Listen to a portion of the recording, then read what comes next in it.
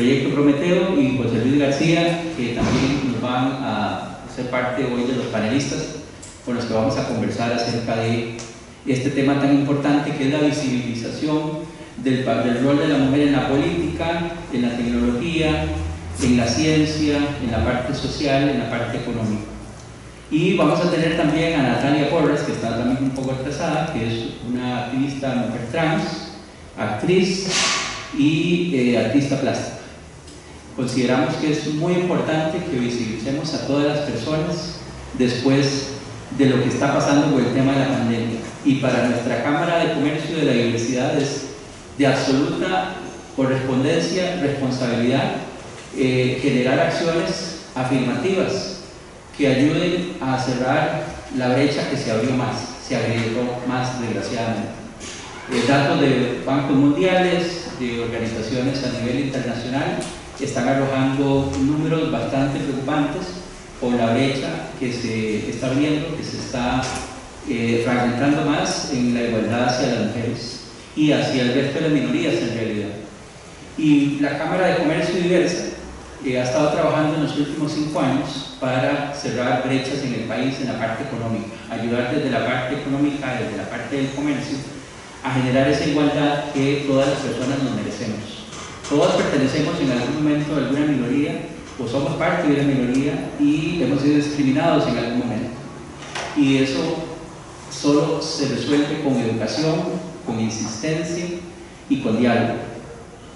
Y a veces hay que enojarse un poco y voltear la mesa, porque los políticos a veces no nos entienden, algunos, no todos, tenemos aliados por supuesto. Eh, la misma sociedad dentro del patriarcado nos ha enseñado, nos ha metido en un cuadro enorme durante muchos años y eh, eso hay que irlo rompiendo, hay que ir rompiendo todas esas estigmas y esas etiquetas que nos han puesto a todas las minorías a nivel global. Y en Costa Rica la Cámara lo que busca es desarrollar acciones eh, que se puedan implementar a corto plazo para ayudar a cerrar la brecha. Todos somos iguales eh, ante la ley, aunque así muchas personas no lo quieran reconocer y aún en Costa Rica, aunque existen derechos y leyes que nos protegen, sigue habiendo, sigue habiendo discriminación, sigue habiendo muchísimo eh, problema a la, hora de las contrataciones con el tema salarial, sigue habiendo este, siempre esa brecha en los puestos clave en las empresas y todos tenemos que trabajar y colaborar para que eso no sea así. Todos tenemos talento como personas y yo quisiera dirigirme hoy hacia ustedes como somos personas, como personas que este, tenemos los mismos derechos y las mismas oportunidades que se han visto sesgadas a lo largo de la historia de nuestro país, pero que hay que cambiar. Y muy agradecido con nuestras expositoras y expositores de hoy y con ustedes por haber atendido esta cita. Estos eventos ayudan a visibilizar aún más la problemática que existe y también ayudan a reforzar el trabajo que se ha venido haciendo desde el activismo durante muchos años en el país y que hay que seguir reforzando. No podemos bajar la guardia ni un centímetro, porque la discriminación siempre está ahí como esa sombra, ¿verdad? Y solo cuesta abrir la boca para poder discriminar. Eso es lo que cuesta la discriminación. Imagínense usted lo fácil que es discriminar. Y mucha gente no conecta el cerebro con la lengua. Y eso tenemos que irlo cambiando, pero solo con educación. Así que quiero este, dar la oportunidad a nuestra primera eh, expositora el día de hoy, este, la excelentísima señora eh, embajadora de España, eh, Cristina Pérez. Muchísimas gracias, Julio. Muy buenos días a todos y la verdad es que eh, les quería dar la bienvenida aquí al Centro Cultural del Farolito y es para mí un honor y desde luego una enorme satisfacción poder ver el salón de actos así llenito, a tope, según las directrices eh, sanitarias, pero hemos reabierto las puertas hace menos de un mes, con lo cual el que uno de nuestros primeros actos públicos sea dedicado a los temas de la igualdad, de la defensa de los derechos humanos de todos y de todas, como ha dicho Julio, pues es para nosotros una gran satisfacción. Eh, voy a hablar eh, con el espíritu de unas personas que van a llegar ahora, eh, porque ha habido unos pequeños problemas logísticos de atascos y de agendas sobrevenidas, pero que se van a incorporar a lo largo de, este debate. Y entonces yo lo que quería comentarles es que bueno, para mí estar aquí con Julio, con la Cámara Diversa y con todos los amigos es, eh, eh, muy importante. Eh, nosotros nos gustaría recuperar ese rol que ha tenido el farolito a lo largo de estos últimos años, que era un centro de reflexión, un centro en el que podíamos compartir experiencias, compartir preocupaciones. Y hemos sido a lo largo de los últimos años pues, un elemento importante. En este sentido, así que el tener este debate pues, pone eh, una gotita, un eh, granito de arena en este objetivo nuestro de volver a constituir el como ese centro, su centro, el centro de todos ustedes donde podemos llevar a cabo debates, reflexiones e intercambios de propuestas interesantes. Hoy eh, nos va a acompañar también el nuevo director del Centro Cultural, con el que vamos a trabajar muy bien, también como lo hicimos con el anterior director, Salvador, y además estoy encantada de que al evento de hoy, además de las organizaciones que nos acompañan, algunas organizaciones amigas a las que hemos redescubierto y sobre todo también agradezco mucho el acompañamiento del cuerpo diplomático, sobre todo de la embajadora de Venezuela, que con el lío que tiene nos ha acompañado esta mañana aquí, con lo cual ya pone de manifiesto que este es un tema que en el ámbito de la política exterior nos importa, nos importa a todos. Pero lo que me satisface enormemente es que tengamos la oportunidad en esta fecha tan importante que estamos en los alrededores de la conmemoración del 8 de marzo, que tengamos la oportunidad de, hablar de estos temas tan importantes como son la igualdad de género. Eh, es un momento muy importante eh, también porque se unen, en el caso de Costa Rica, una serie de elementos importantes. En primer lugar, no solamente en Costa Rica, sino en todo el mundo, Estamos entrando en el segundo eh, quinquenio del cumplimiento de la Agenda 2030, estamos inmersos en la década de la acción y los logros que se habían ido, no sin dificultad, eh, obteniendo a lo largo de los cinco primeros años de cumplimiento de la agenda, pues se están poniendo en cuestionamiento como consecuencia de la mayoría. Por lo tanto, el significar y singularizar nuestra preocupación por el cumplimiento integral de la Agenda 2030 pues es un elemento eh, importante a tener en cuenta el día de hoy. Y en el caso de Costa Rica, el tema que me ha tocado a mí debatir, que es el tema del empoderamiento político de las mujeres, el papel de las mujeres en la política global, es especialmente interesante porque yo no les tengo que contar a ustedes, que son mayoritariamente chicos, la importancia del proceso electoral en ciernes que se viene ahora en Costa Rica y que lógicamente el papel de la mujer eh, va a ser un elemento fundamental para que estas elecciones pues, eh, puedan ser representativas del eh, sentir y de la preocupación de, toda la población que la compone, como ustedes saben, hombres y mujeres de diferente condición y de diferente tipo. ¿no? Entonces, ese es un elemento muy importante y lo que yo quería también poner de manifiesto es que este año celebramos el 110 aniversario de las conmemoraciones del Día Internacional. En un primer momento era el Día Internacional de la Mujer Trabajadora desde el año 75 es el Día Internacional de la Mujer. Han pasado muchísimos años en los que, eh, bueno, pues esta ha sido una reivindicación eh, continua y a mí me sigue sorprendiendo mucho y me sigue entristeciendo el que eh, cada año se siga haciendo necesario el sentarnos a charlar de por qué es tan importante la igualdad de todas las esferas de la vida política, económica y social de las sociedades, no, solamente de las mujeres, de las sociedades, porque los derechos de las mujeres, como dijo eh, eh, la señora Clinton, que asistió a la cumbre de Beijing en el año 95 como su categoría de, de primera dama, son derechos humanos y los derechos humanos son derechos de las mujeres. Entonces, a pesar de todos estos años de trabajo con la igualdad de género, lo cierto es que se ha avanzado mucho, pero no hemos llegado ahí. Este, en, este, momento, eh, lo que sí que es una realidad eh, es que vivimos en un mundo eh, construido predominantemente desde una mirada masculina. Entonces es importante que la mirada femenina también tenga su espacio en la construcción de, de este mundo. También creo que la conmemoración de este año del Día Internacional de, la Mujer cobra si cabe mayor importancia que otros años. Se cobra mayor importancia porque vivimos unas circunstancias tremendas que han sido causadas por la pandemia.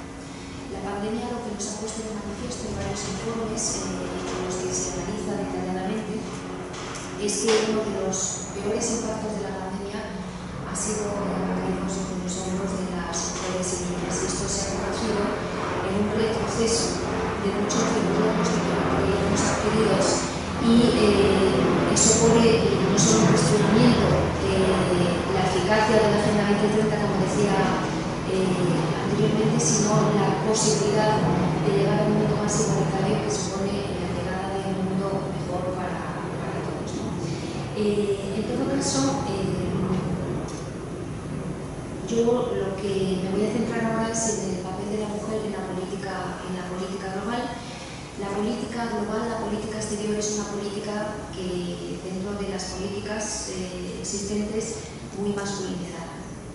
Es, una, es un sector donde la presencia de la, de la mujer se ha ido imponiendo de manera lenta, de manera tardía y de manera paulatina, pero se ha ido imponiendo poco a. Yo creo que en Costa Rica eh, tenemos la inmensa satisfacción, el otro día, el viernes, celebramos un evento al que nos acompañó también la embajadora Faría, en la que yo cuando llegué aquí hace casi dos años y medio, éramos apenas cinco mujeres embajadoras eh, con responsabilidad eh, de política exterior en este país. En la actualidad, tenemos el grupo de la Unión Europea, somos mayoritariamente mujeres, y el grupo de las embajadoras de los embajadores centroamericanos también mayoritariamente son mujeres.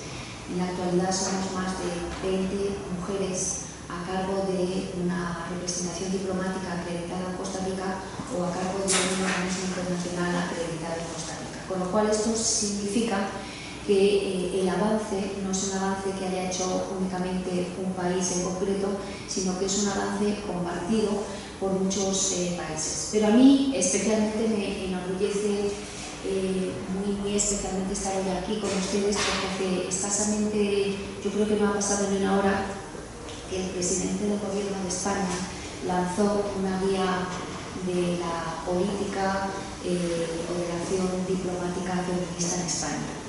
Esto me llena de orgullo como española y como diplomática de carrera que soy, porque significa dos elementos importantes. En primer lugar, que hay un firme compromiso por parte del Gobierno de España de que la igualdad de género permee toda acción eh, del Gobierno, que no solamente es en las políticas interiores, sino en las políticas exteriores.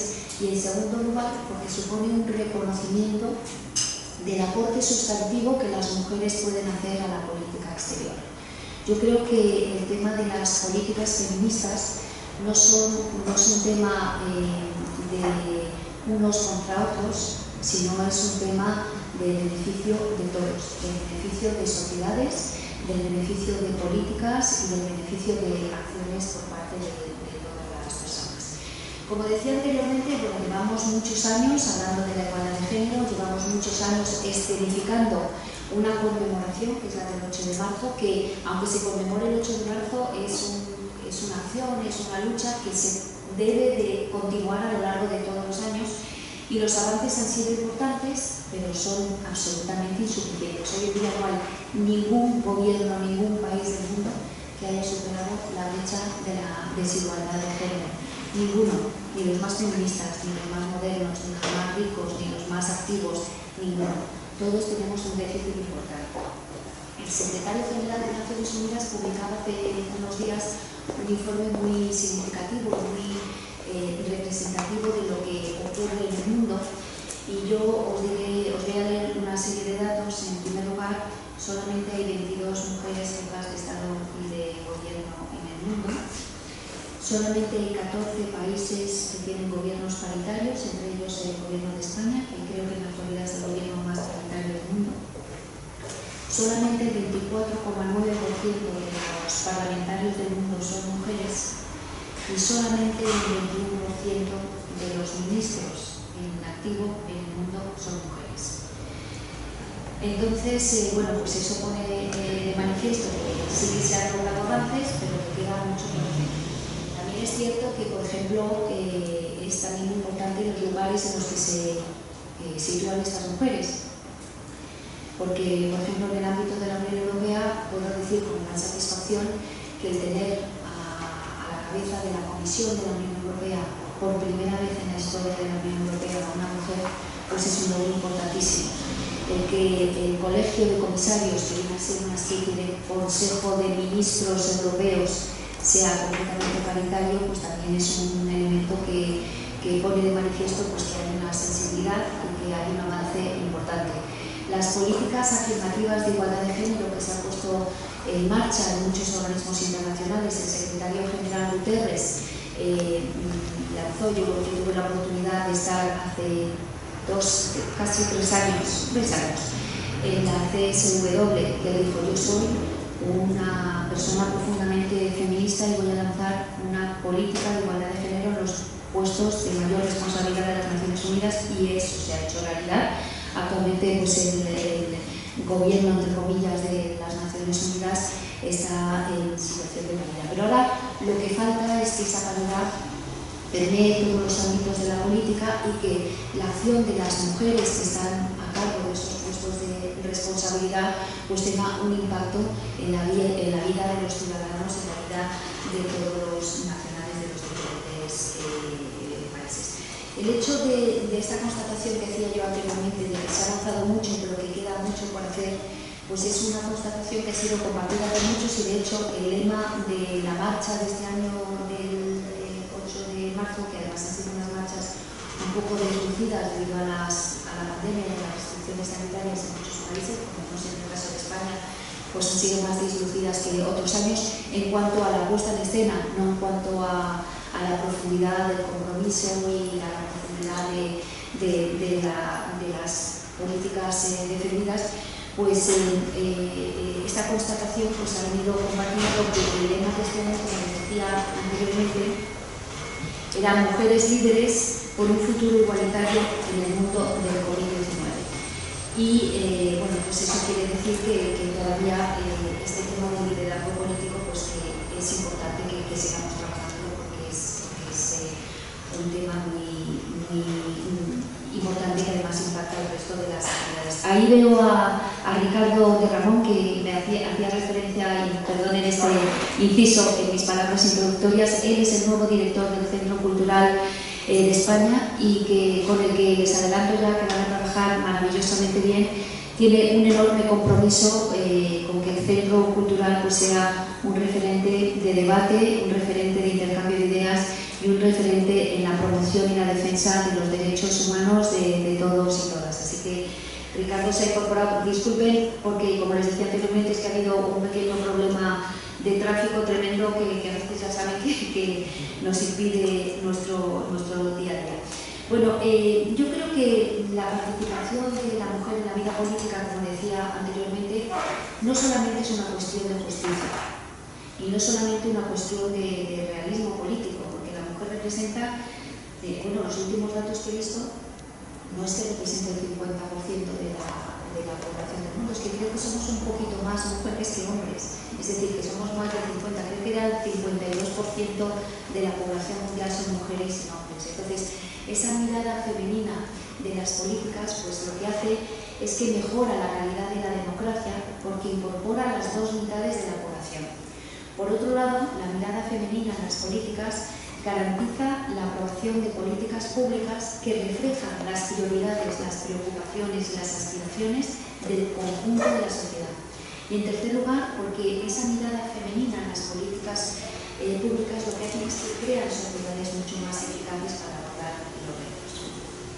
Sin embargo, eh, como decía antes, los avances son insuficientes y los datos que les he leído anteriormente lo que ponen de es que para una igualdad absoluta en términos políticos, en términos de empoderamiento político de las mujeres, según cálculo de las Naciones Unidas, necesitamos 130 años de trabajo como hasta ahora para llegar a esa igualdad. No tenemos ese tiempo.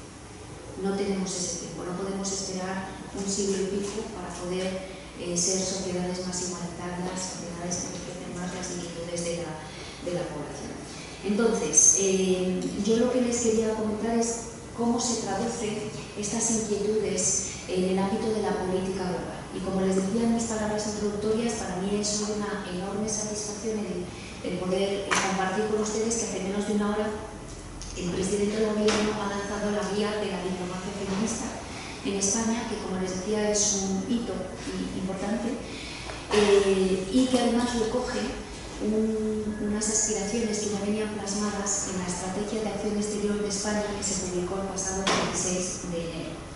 En, en, estas, en esta estrategia de acción española, el tema de la diplomacia feminista es uno eh, de los temas más importantes, porque cambia un poquito la orientación que teníamos hasta yo, eh, para ponerles en situación, quería comentarles un poco la situación del cuerpo diplomático de España. Como les he dicho antes, nosotros somos quizá el país con el gobierno más paritario del mundo y donde las políticas de igualdad de género llevan consolidándose desde hace muchísimos años. Es decir, no hemos llegado antes de ayer a este tema y eh, donde estamos ahora mismo es el fruto de muchos años de trabajo con avances, con varones, con retrocesos, con vuelta a avanzar, con vuelta a parar, con vuelta a retroceder, etc. Ha sido una carrera eh, no fácil, una carrera que no ha sido estable. Por lo tanto, es muy importante que todos estemos muy vigilantes de que los avances que se produzcan no tengan retrocesos importantes que nos impacten a todos.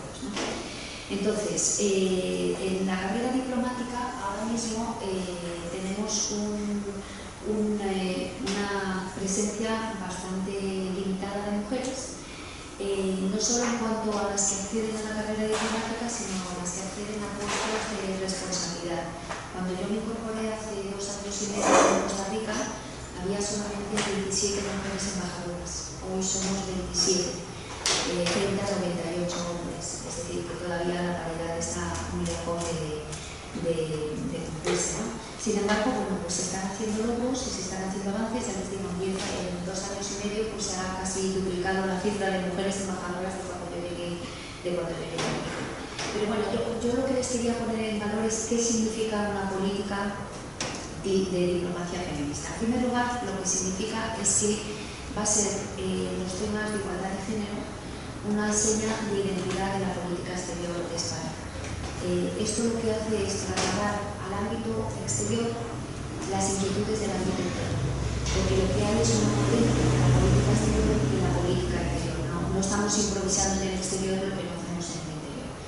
Y para hacer esto, lo que tenemos que hacer es una serie de elementos importantes. En primer lugar, es la promoción del número de mujeres en los puestos de toma de decisión y de diseño de políticas. Como les decía antes, el número de mujeres diplomáticas es muy limitado eh, pero en la actualidad tenemos una ministra de Asuntos Exteriores, dos secretarias de Estado, que son viceministras, una secretaria de Estado, pero luego tenemos cinco de los 18 directores, perdón, de los 13 directores generales son mujeres, eh, son hombres, perdón, 5 son mujeres y 13 son hombres, 18 de 39 son directoras generales, con lo cual queda mucho eh, todavía por hacer, pero con esta línea de acción significa que vamos a potenciar la presencia de mujeres dentro de la política exterior española, pero también la presencia de mujeres en organismos internacionales, de mujeres españolas y de mujeres que no son españolas.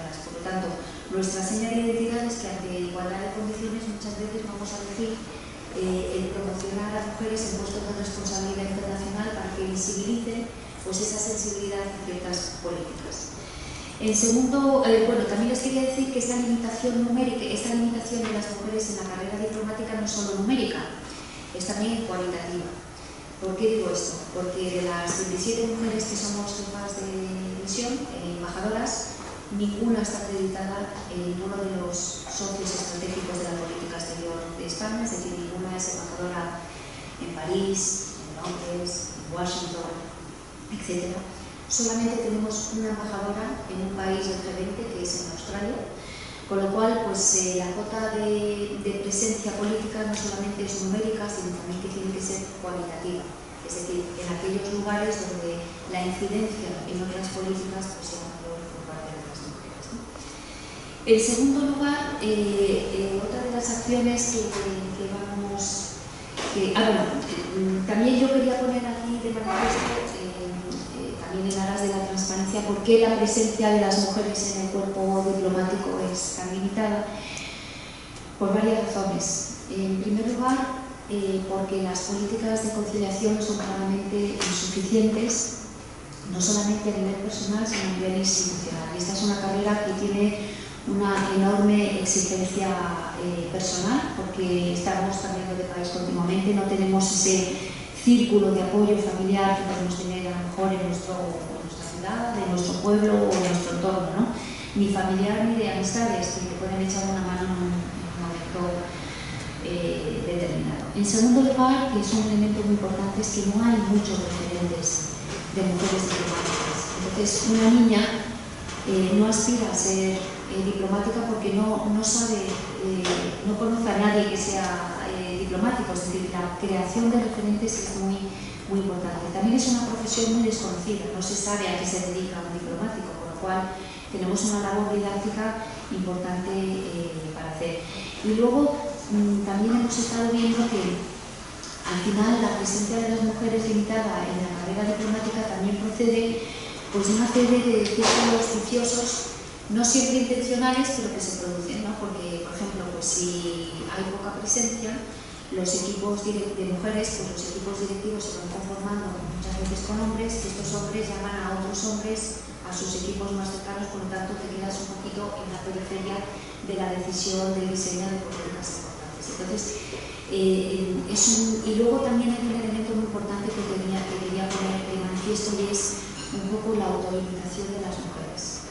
Muchas veces nosotros pasa también, eh, pasa en la diplomacia, pero pasa en otros ámbitos como puede ser la ciencia, la tecnología, la ingeniería. No accedemos a sus puestos porque pensamos que no podemos acceder, que no podemos hacerlo pues muchas veces son limitaciones propias. Por eso quiero decir que la, la falta de mujeres en la carrera diplomática muchas veces es una combinación de varios factores no siempre imputables a la mala voluntad o a la falta de voluntad de alguien o de alguien, sino que muchas veces pues, somos nosotras mismas las que nos estamos limitando el acceso a, ese, a, esas, a, esas, a esas, carreras. ¿no? El segundo punto importante que determina la política feminista de España es que eh, lo que vamos a hacer es trasladar un mensaje a todos nuestros socios internacionales, bilaterales y multilaterales. El mensaje es el siguiente, los temas de género están en lo más alto de la agenda política de España. Es decir, que cuando una autoridad visite un país, un organismo internacional, las cuestiones de género van a figurar necesariamente en los diálogos políticos, en las consultas políticas, en las reuniones bilaterales, en las reuniones multilaterales, de manera que nuestros socios saben que ese tema va a salir, sea un tema cómodo o no sea un tema cómodo. Hay países con los que hablar de temas de género son fáciles, es fácil, pero hay otros países que no es fácil. Y luego las cuestiones de género no todas son iguales, algunas son más pacíficas y otras son menos pacíficas. Es decir, con, con países socios, amigos y con los que tenemos una relación muy importante, pues a veces es incómodo sentarte a hablar de la salud y de los derechos sexuales y reproductivos, porque políticamente nos llevamos fenomenal, económicamente nos llevamos fenomenal, pero la coincidencia en estos temas no es tan grande. Entonces, ese es un elemento que también lanzamos como mensaje con esta política feminista. Los temas de género van a estar en agenda política de nuestras relaciones bilaterales. En tercer lugar, esta diplomacia feminista, ¿qué significa? Significa que vamos a poner en marcha una política proactiva, una política proactiva de defensa de una serie de temas que están sobre la mesa y que los ha impulsado España de manera muy consciente. En primer lugar, quiero hacer referencia a la resolución que pasó el pasado mes de noviembre, eh, propiciada por España, pero patrocinada por 80 países y aceptada por Consenso de Naciones Unidas, que es un órgano muy importante, que es la resolución sobre mujeres y niñas y COVID-19. Eso yo creo que es muy importante para señalar el impacto tan grande que ha tenido y tan negativo que ha tenido el COVID-19 en la vida, en las expectativas y en la situación de las mujeres en el mundo, en todo el mundo, no solamente en los países en desarrollo, no solamente en los países de renta media, sino también en los países más avanzados. En segundo lugar, otro de los temas que también España ha impulsado de manera muy prominente, que además el año pasado celebramos el vigésimo aniversario, es la resolución 1325 sobre mujer, paz y seguridad. Precisamente en los temas de paz y seguridad se ha puesto de manifiesto, más que en otros temas, el papel tan importante que desempeñan las mujeres en la consolidación de los procesos de paz, en la sostenibilidad de los acuerdos de paz. No puede haber paz si la mitad de la población, si la mitad de la gente que está en conflicto queda fuera de la negociación, queda fuera de la contemplación de los acuerdos de paz. El tercer eh, tema que vamos a impulsar en nuestra política feminista diplomática va a ser los temas de la violencia de género. Muy importante este año que estamos celebrando el décimo aniversario del convenio de Estambul, en el que España está muy comprometida en la lucha contra la violencia de género. Esa lacra que lamentablemente sigue existiendo en todas las sociedades y que nos debería avergonzar a todos. En tercer lugar, en cuarto lugar, perdona, un tema muy importante Veo aquí a mi querida amiga, pero no lo digo por ella ni lo digo por sus nacionales, sino lo digo porque es un problema que nos afecta a todos en un momento en el que hemos visto resurgir un fenómeno mundial que es un fenómeno histórico, es un fenómeno inherente a la, humanidad, que es el tema de las migraciones. Los grandes retos políticos eh, que vive, por ejemplo, el continente americano en ciertos países, los grandes retos económicos y sociales que van a poner sobre la mesa eh, la pandemia, los grandes retos sanitarios, porque vamos a ver surgir en breve un nuevo fenómeno que van a ser las migraciones y el refugio sanitario, ponen de manifiesto, ponen a la vista un problema muy grande que nosotros lo denominamos la pandemia oculta, que es el tema de la trata. Es un tema tremendo que en el siglo XXI parece mentira que aflore con la intensidad que está aflorando en nuestros días. Y países que estamos muy expuestos al tema migratorio, España, como saben ustedes, fue un país emisor de migrantes durante mucho tiempo, pero ahora es un país receptor de migrantes, y tenemos migrantes del norte de África, migrantes procedentes del conflicto sirio, Afganistán, Pakistán, muchos migrantes, y solicitantes de asilo también de América Latina y del Caribe, pues somos una puerta de entrada con nuestros vínculos históricos hacia Europa. Entonces, este es un tema que también va a situarse en la agenda de la política exterior de España altísimo. Y por último, la justicia económica y los derechos de las mujeres, en lo que bueno, vamos a celebrar el foro de la generación de la igualdad y que eso va a ser también un importante. El cuarto aspecto de nuestra política diplomática feminista es la política de cooperación al desarrollo. Yo aquí también quería hacer un reconocimiento a la acción de la cooperación española. La Agencia Española de Cooperación Internacional para el Desarrollo tiene ya más de 30 años de existencia y desde sus principios ha sido una política de cooperación al desarrollo súper feminista, muy enfocada en temas de género. Las primeras acciones se, se realizaron justamente en Centroamérica, en Guatemala, luego en el resto de los países centroamericanos, eh, y tuvieron este enfoque de género. Actualmente la OCDE ha reconocido a España como un ejemplo de las políticas de cooperación feministas a exportar a otros. Tanto, ese es un elemento muy importante. ¿En qué estamos actuando en las políticas de cooperación al desarrollo? Pues en primer lugar, en la promoción de la participación social, política y cultural de las mujeres Estamos lanzando un fondo que además eh, creo que es interesante para todos ustedes porque aquí hay muchas organizaciones que pueden tener interés en este fondo, se llama el Fondo Ellas Plus y que lo que pretende es potenciar y apoyar la presencia de mujeres en asambleas locales a nivel político, tenido aquí querida Ana, y también en el tema de la toma de decisiones. Este fondo va a ser, yo creo que, un elemento importante para en segundo lugar, también la política de cooperación al desarrollo de España se dedica al fomento de los derechos laborales y económicos de mujeres, a la lucha contra la violencia de género, que incluye un fenómeno tremendo que afecta justamente a las puertas de nuestro país, que es la mutilación genital femenina. La educación, muy centrada en dos elementos. En el STEM, es decir, mujeres en ciencia, tecnología, ingeniería, matemáticas, y también en el tema de la digitalización. Si la mujer no es capaz de sola o con ayuda incorporarse al mundo digital, estamos generando potencial y abriendo una brecha que va a tener unas consecuencias futuras tremendas. Y además estamos poniendo a las mujeres en una situación de desventaja en el mercado laboral. Por lo tanto, eso es un elemento muy importante. También quería decirles que durante la pandemia la cooperación española lanzó una estrategia de cooperación durante el COVID-19 y la estrategia de cooperación, además de tener los ejes de salud, de apoyo a personas vulnerables y de apoyo a los sistemas socioeconómicos, el centro de todo era el tema de la. Eh, y ya por último quería hacer alusión a la última eh, acción de la política diplomática feminista, que es la acción consular eh, en favor del acompañamiento, protección, asesoramiento de las mujeres españolas que sufren violencia de género. Ese es también un elemento. Querida ministra, bienvenida. Muchas gracias por participar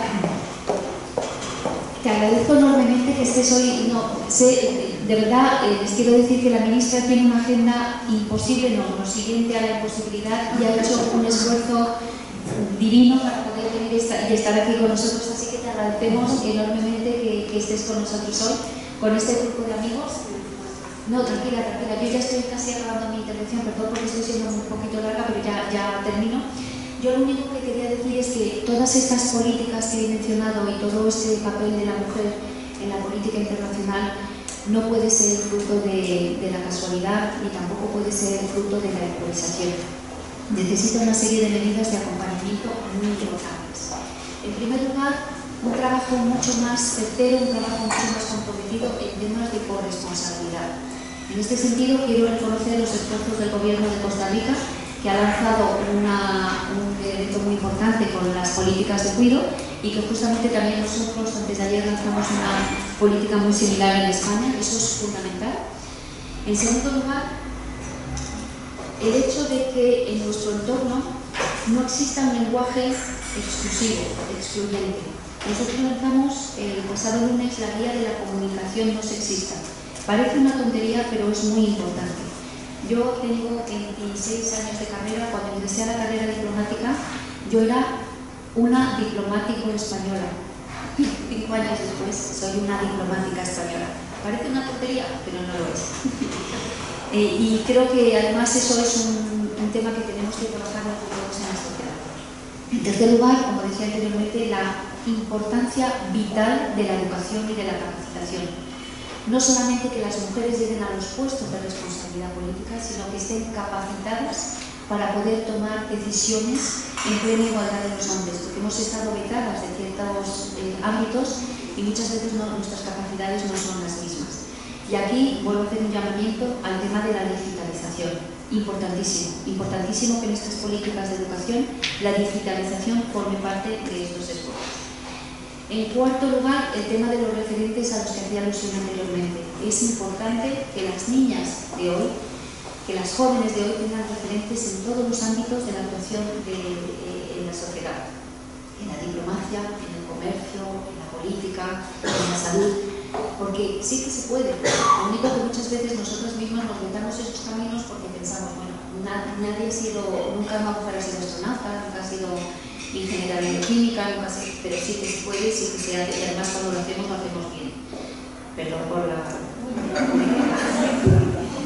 Y luego, un, un último mensaje.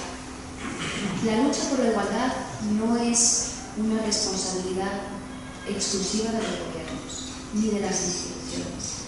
La lucha de la igualdad es una lucha de todos. Es una lucha en la empresa, es una lucha en la universidad, es una lucha en la familia es una lucha en casa, es una responsabilidad de todos nosotros. Yo creo, es que como soy un poco desordenada, tenía una cita muy bonita que había sacado del país, que no os voy a leer pero que venía a decir que no podemos aspirar, no los días de, perdón, porque además creo que se llamaba Víctor Lapuerta, el, el, periodista que lo decía, que era un artículo de ayer o de antes de ayer en el país, que decía que las mujeres no van a poder los techos de cristal si los hombres no, no friegan los suelos de. Porque el problema no es que haya mujeres en la ciencia, en la tecnología o en el IBEX, que es donde están las empresas que cotizan en bolsa en España, sino el problema es que no hay mucha presencia de hombres en el hogar. Entonces ese, ese es un tema que tenemos que tener en cuenta. Ya simplemente cierro con, un, con una cosa que decía al principio, los derechos de las mujeres son derechos humanos, son derechos inalienables, son derechos indivisibles, son derechos de todos. La lucha por la igualdad no es la lucha contra nadie, ni contra el colectivo, ni contra Dios, es una lucha a favor de todos. Así que espero que esta batalla eh, la ganemos entre todos y espero que estos actos los celebremos muy poquitas veces más, porque significará que ya estamos ahí. Muchas gracias, perdón por la longitud de mis palabras y muchas gracias por su, por su invitación.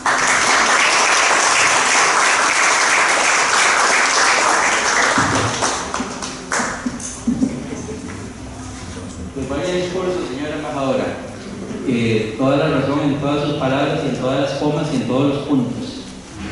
Eh, bienvenida, señora ministra. Marcela, qué gusto saludarte. Bienvenida y ahorita te damos la palabra. Natalia Porras también, muchísimas gracias y gracias por integrarte por acá y a las otras personas que han ingresado eh, al lugar. Eh, vamos ahora a darle el micrófono al señor Lenín Williams. Sí, sí.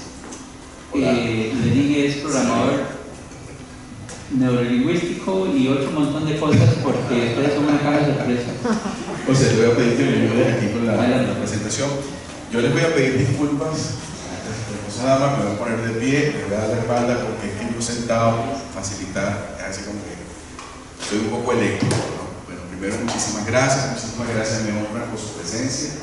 Gracias Ricardo por permitirnos este espacio para, para pasar este mensaje y honradísimo porque mi embajadora está aquí. Soy venezolano, tengo un rato, tengo dos años de casi viviendo aquí en Costa Rica, mi patria de corazón, amo muchísimo a mi país y a este país que se ha convertido en mi casa, al cual amo y por el cual estamos haciendo lo mejor que podamos. En estos días me dieron un premio eh, eh, como, como emprendedor año 2020 y decía Denis Williams, Costa Rica. ¿Y saben qué? Sí, qué, qué rico que pude representar como Costa Rica y me dieron ese premio como Costa Rica, porque esta es mi patria también. Yo les vengo a hablar un poquito, bueno, Julio decía este, poco de cosas que hago, es mi currículum formal, pero en este momento eh, mi trabajo principal está en apoyar a las personas para que a través de sus talentos, sus conocimientos, sus experiencias, sus habilidades, lo puedan llevar al mundo con herramientas, tanto de tecnología humana, como programación de lingüística, inteligencia emocional, coach, etcétera, como tecnologías de la información, y lo decía muy bien la embajadora, las mujeres están llamadas también a meterse en el tema de la tecnología, y ya les voy a hablar de eso. Eh, siempre me gusta comenzar mi- mis presentaciones honrando mis raíces, honrando mi país, honrando mi familia, mis abuelos, mi mami, mi papá, mi hermano, eh, y lo pongo porque mi mamá es la primera mujer que me inspiró en la vida. Y siempre digo, siempre digo, es la mujer con menos títulos académicos más sabia del planeta. Llegó hasta sexto grado y sin embargo ha sido la mujer que me ha dicho las palabras más importantes y ha sido un modelo para mí tan importante que bueno, me ha llevado a donde estoy ahora. Y siempre, siempre la tengo en mente. Bien, entonces Y les quiero hablar de algunos misterios. Cuando yo tenía 11 años, era un niño bastante complicado porque me la pasaba con una Biblia bajo el brazo, era ego en ese momento, y explicaba por qué Dios no existía. Y además hablaba de los enigmas de las pirámides, hablaba de los extraterrestres y todas esas cosas que estaban en ese momento en la pared y que siguen estando tantos años después, eran como mis temas, ¿no? Un peladito así, pero chiquitico, como bebé, más chiquito todavía, este, hablando de todas esas cosas. Pero resulta que vino la biología y a los 12 años pues, empezó a cambiar mi cuerpo y el misterio cambió. Y el misterio principal se convirtieron las mujeres. Las mujeres, wow, cómo eh, eh, ya el niño que está viendo los libros de repente ve a la muchachita y empiezan a interesar en la muchachita y empiezan a enfrentarse al misterio que son las mujeres. Y decimos que sí, las mujeres, yo les pregunto, las mujeres son complicadas. ¿Qué creen ustedes? Levanten la mano quien crea que las mujeres son complicadas. Ajá. Bueno, yo creo que sí, las mujeres son complicadas, porque además, ¿qué significa la palabra complicado? Complicado es algo que tiene muchas facetas, algo que, que, que, a veces es este, eh, difícil de armar. Y complicado no significa malo, es más todo lo contrario. ¿Quién ha visto un crucigrama? ¿Quién ha visto un rompecabezas interesante que sea fácil? Si es fácil, no interesa nada. Uno lo deja ahí. En cambio, esta complejidad que representa la mujer es muy interesante. Es más, es una ganancia que desde mi perspectiva ustedes tienen y ya les voy a explicar por qué. Ahora, la pregunta es, ¿vivimos los hombres y las mujeres temas como el trabajo, el amor, el matrimonio, los hijos, las relaciones, eh, lo profesional, de maneras iguales? Y definitivamente no lo vivimos de maneras iguales. Por ejemplo, pásame la siguiente. Por ejemplo, voy a, tengo que ser breve, ¿verdad? Llorar, llorar. ¿Por qué llora una mujer? Una mujer llora cuando está triste, cuando está alegre, cuando está frustrada, cuando está molesta, cuando le da la gana. Las mujeres son capaces de expresar su emocionalidad cuando quieran y lloran cuando quieran. Entonces ahí vemos una diferencia. ¿Por qué lloramos los hombres? Nada más por cosas importantes como cuando nuestro equipo de fútbol pierde. Entonces ahí ves a hombres llorando porque el equipo perdió. Y saben que existe una teoría sobre eso. Dicen que la testosterona hace que, como las mujeres tienen menos testosterona, tienen más libertad de expresar emoción, y también la testosterona en los hombres alta hace que nosotros expresemos menos emoción y que nos conmueva más cosas como la competencia. Entonces ahí dice, ah, claro, si es tan importante ganar porque tenemos la testosterona alta, entonces es lógico que lloremos porque nuestro equipo perdió. Ahora, todo eso son teorías. Saben que en los 30 años que yo tengo estudiando todo el tema del cerebro, de todas estas herramientas de tecnología humana, he visto pasar teorías y teorías y teorías y en un año entendemos todo. Claro, y aparece un nuevo modelo. Por eso es que somos diferentes, porque resulta, y aquí me gustaría ver algunas diferencias estructurales, algunos mitos que hemos pasado. Por ejemplo, hubo un momento donde decían que el hombre tenía el cerebro más grande. Ah, ganamos los hombres porque tenemos el cerebro más grande. Y resulta que se descubrió que ese tamaño obedece sencillamente a que somos más grandes. Y eso no significa y no, y no determina que seamos más inteligentes que las mujeres. Ah, pero después se dijo, no, claro, las mujeres tienen más masa gris y los hombres más masa blanca. Entonces salieron las mujeres, ah, por eso somos más inteligentes. Resulta que tampoco determina que tener más masa gris haga a las mujeres más inteligentes. Y cosas como que las mujeres tienen el, hipocampo más grande. Saben que el hipocampo es una de las funciones principales del hipocampo es el manejo espacial.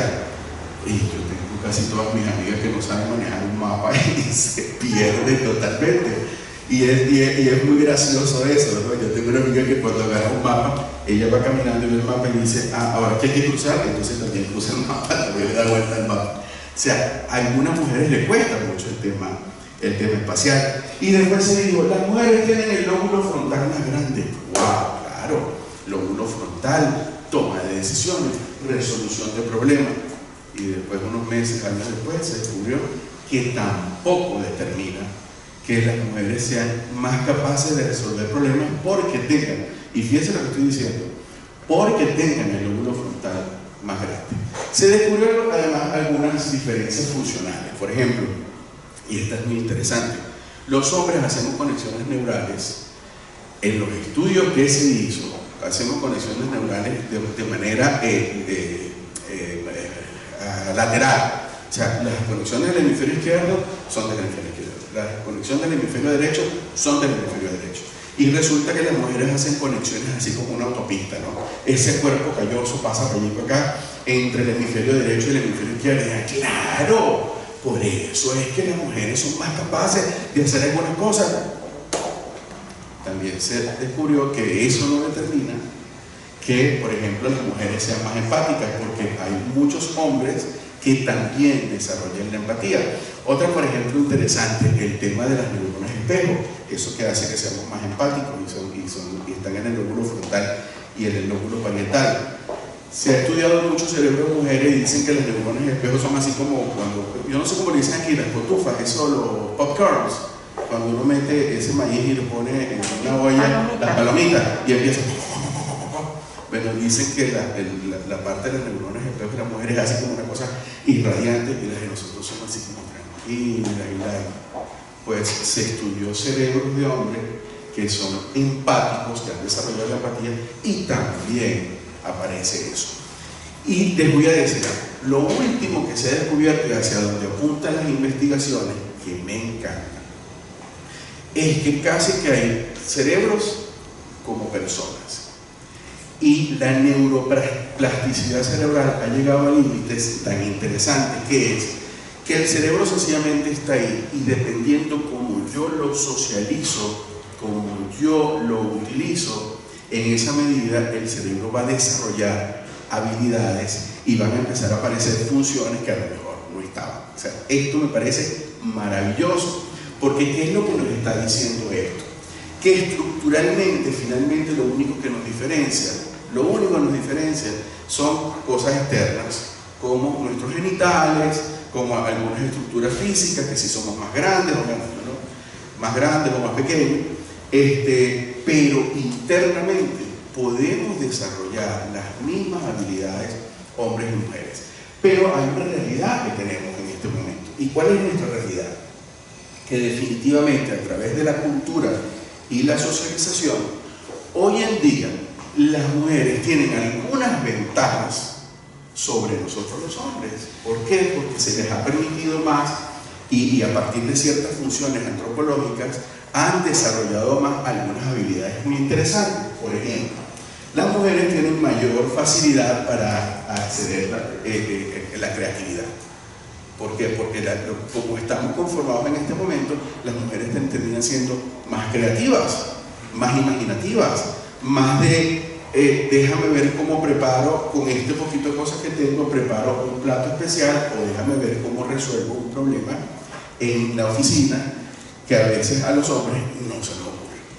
Con ideas que tú dices, wow, o sea, definitivamente a una mujer es la que se le puede ocurrir una cosa como esa. Tenemos la otra, la mayor capacidad para realizar cargas a la vez. Es interesantísimo el tema de los tranques, las colas, ¿no? ¿Cómo, que, ¿Cómo que le dicen aquí? Las, las, presas. Las presas, tú ves en las presas a las mujeres este, con el bebé resolviendo un mensaje, eh, rizándose las pestañas eh, y, y, ahí manejando un carro con, velocidades. Wow, son capaces de resolver muchas cosas y muchas tareas a la vez y que ahí sí se ha visto que la mayoría de los hombres cuando nos ponen más de cinco cosas en la lista, que, que, se nos olvida, si nos piden una y no, no, no nos anotaron en la lista, se nos olvida. Otra, mayor habilidad para conectar con la afectividad, con la empatía, y lo vemos en muchas, en muchas mujeres que son gerentes, de repente son capaces de llamar la atención a un personal que no está cumpliendo su función, y cuando esa persona se quiebra porque tiene un problema y explica por qué no está funcionando tan bien, esa misma persona que acaba de llamar la atención es capaz de hacer empatía y llorar con la persona. Ahí. Nos cuesta más a los hombres hacer ese paso de que te llamo la atención y después hago empatía contigo. A las mujeres se le hace muchísimo, muchísimo más sencillo. Y la capacidad de oratoria y enseñanza. ¿Quién no recuerda a sus maestras de primaria?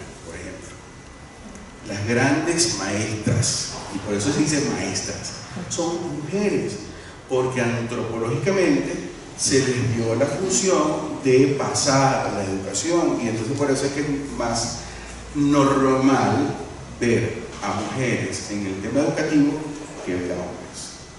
Y la última, creo que es la última, mayor flexibilidad para socializar emociones.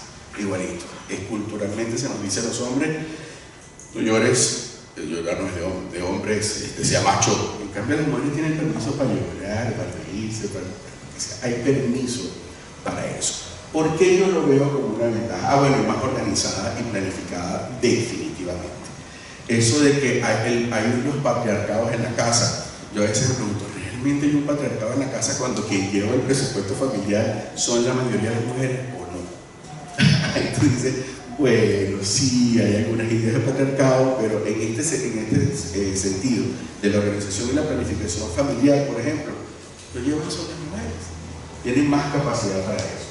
Ahora, ¿por qué yo les estoy contando todo esto y mi, presentación se llama Mujeres que Inspiran?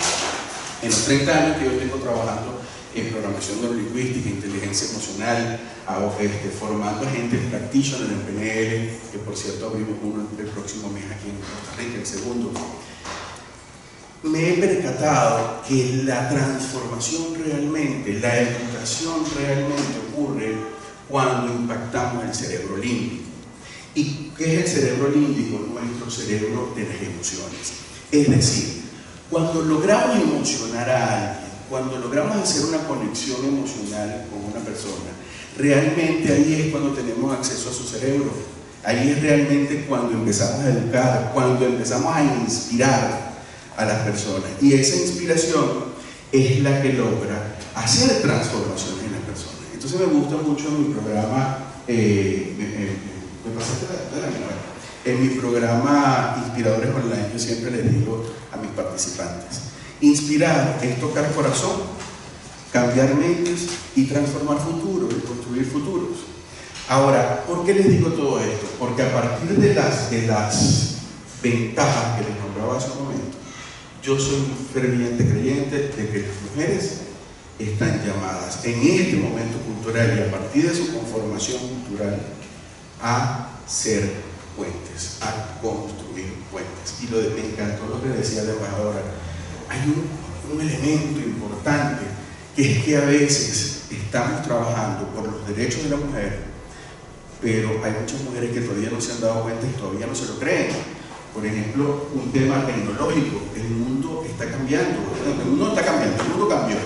Hay gente que está esperando que, que las cosas vuelvan como eran en el 2019. No, definitivamente ya no va a volver a ser así. Y un elemento que se nos metió en la vida completamente es el, el elemento tecnológico. ¿Y cuántas mujeres yo he escuchado eh, decir, bueno, pero es que la tecnología no es para mí? ¿Y cuántas veces tenemos en, en, en cargos y, y, investigaciones tecnológicas más hombres que mujeres? Y muchas veces es porque las mujeres no se lo creen. No, porque es que a mí me toca enseñar. Bueno, ahora te toca enseñar, pero utilizando la tecnología meternos en la tecnología. Me encantó leer hace dos días que se dio por primera vez en la historia un premio Nobel de Matemática a una mujer.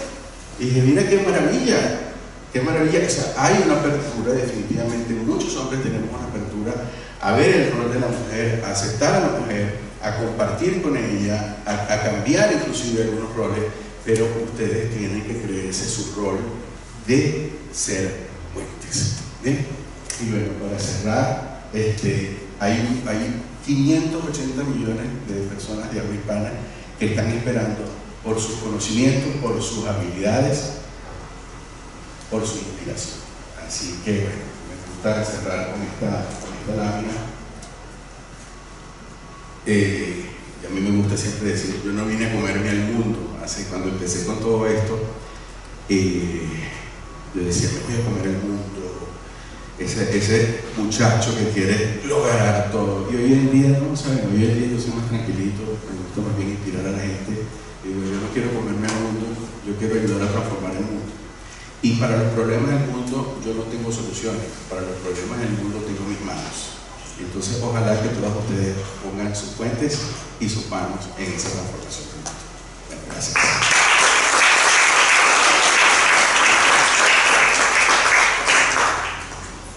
Muchísimas gracias, eh, Lenin. Pero hay un dato por ahí de historia de 1962 que dice que ya la mujer estuvo metida en la tecnología. Y estoy hablando de Catherine Johnson, la conocen. ¿Han leído la historia? Que fue la que realizó todos los cálculos matemáticos para que John Glenn fuera la luna, ¿verdad? Así que eso es un detalle bastante importante y eso Era, era negra, negra, mujer y negra, y además este, que fue discriminada ¿verdad? durante toda su carrera. Este, así que ya están desde la tecnología. Lo que pasa es que hay que hablar de esos ejemplos y, y seguir para adelante. Nos llevaron al hombre a la luna, imagínate. Eh, para la Cámara de Comercio y la Diversidad es importantísimo reconocer a todas las personas eh, como iguales y para nosotros es eh, un grato honor tener aquí a Natalia Porras, mujer trans, artista plástica y actriz. Y hoy nos va a hablar acerca de la vulnerabilidad de la mujer trans en todos los ambientes en realidad. Así que Natalia, bienvenida.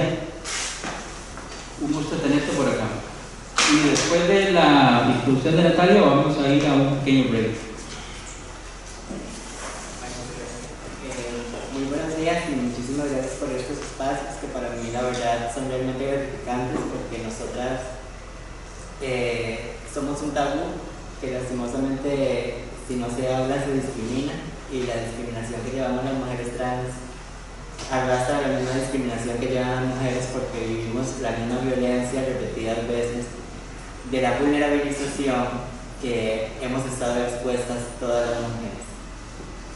Yo no me avergüenzo de ser mujer porque mi mayor inspiración fue mi madre, una mujer fuerte y trabajadora que yo veía todos los días trabajando por nosotros.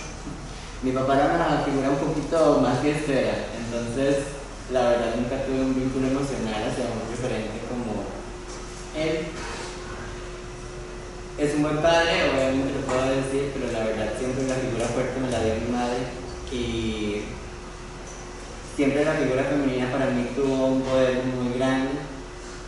Como, como lo dijeron hace poquito, soy artista empírica. Y la imagen de la mujer y los animales siempre para mí ha sido una eh, referencia hacia la lucha social que vivimos todos los seres humanos en un mundo de imperfecciones que trata de ser perfecto, en un mundo hipócritamente correcto que la verdad es bastante incorrecto, en una realidad que muchos ven eh, como pura, pero que yo, ante estos ojos, que estoy muy agradecida con Dios de tenerlos, he visto una realidad que es realmente inapropiada.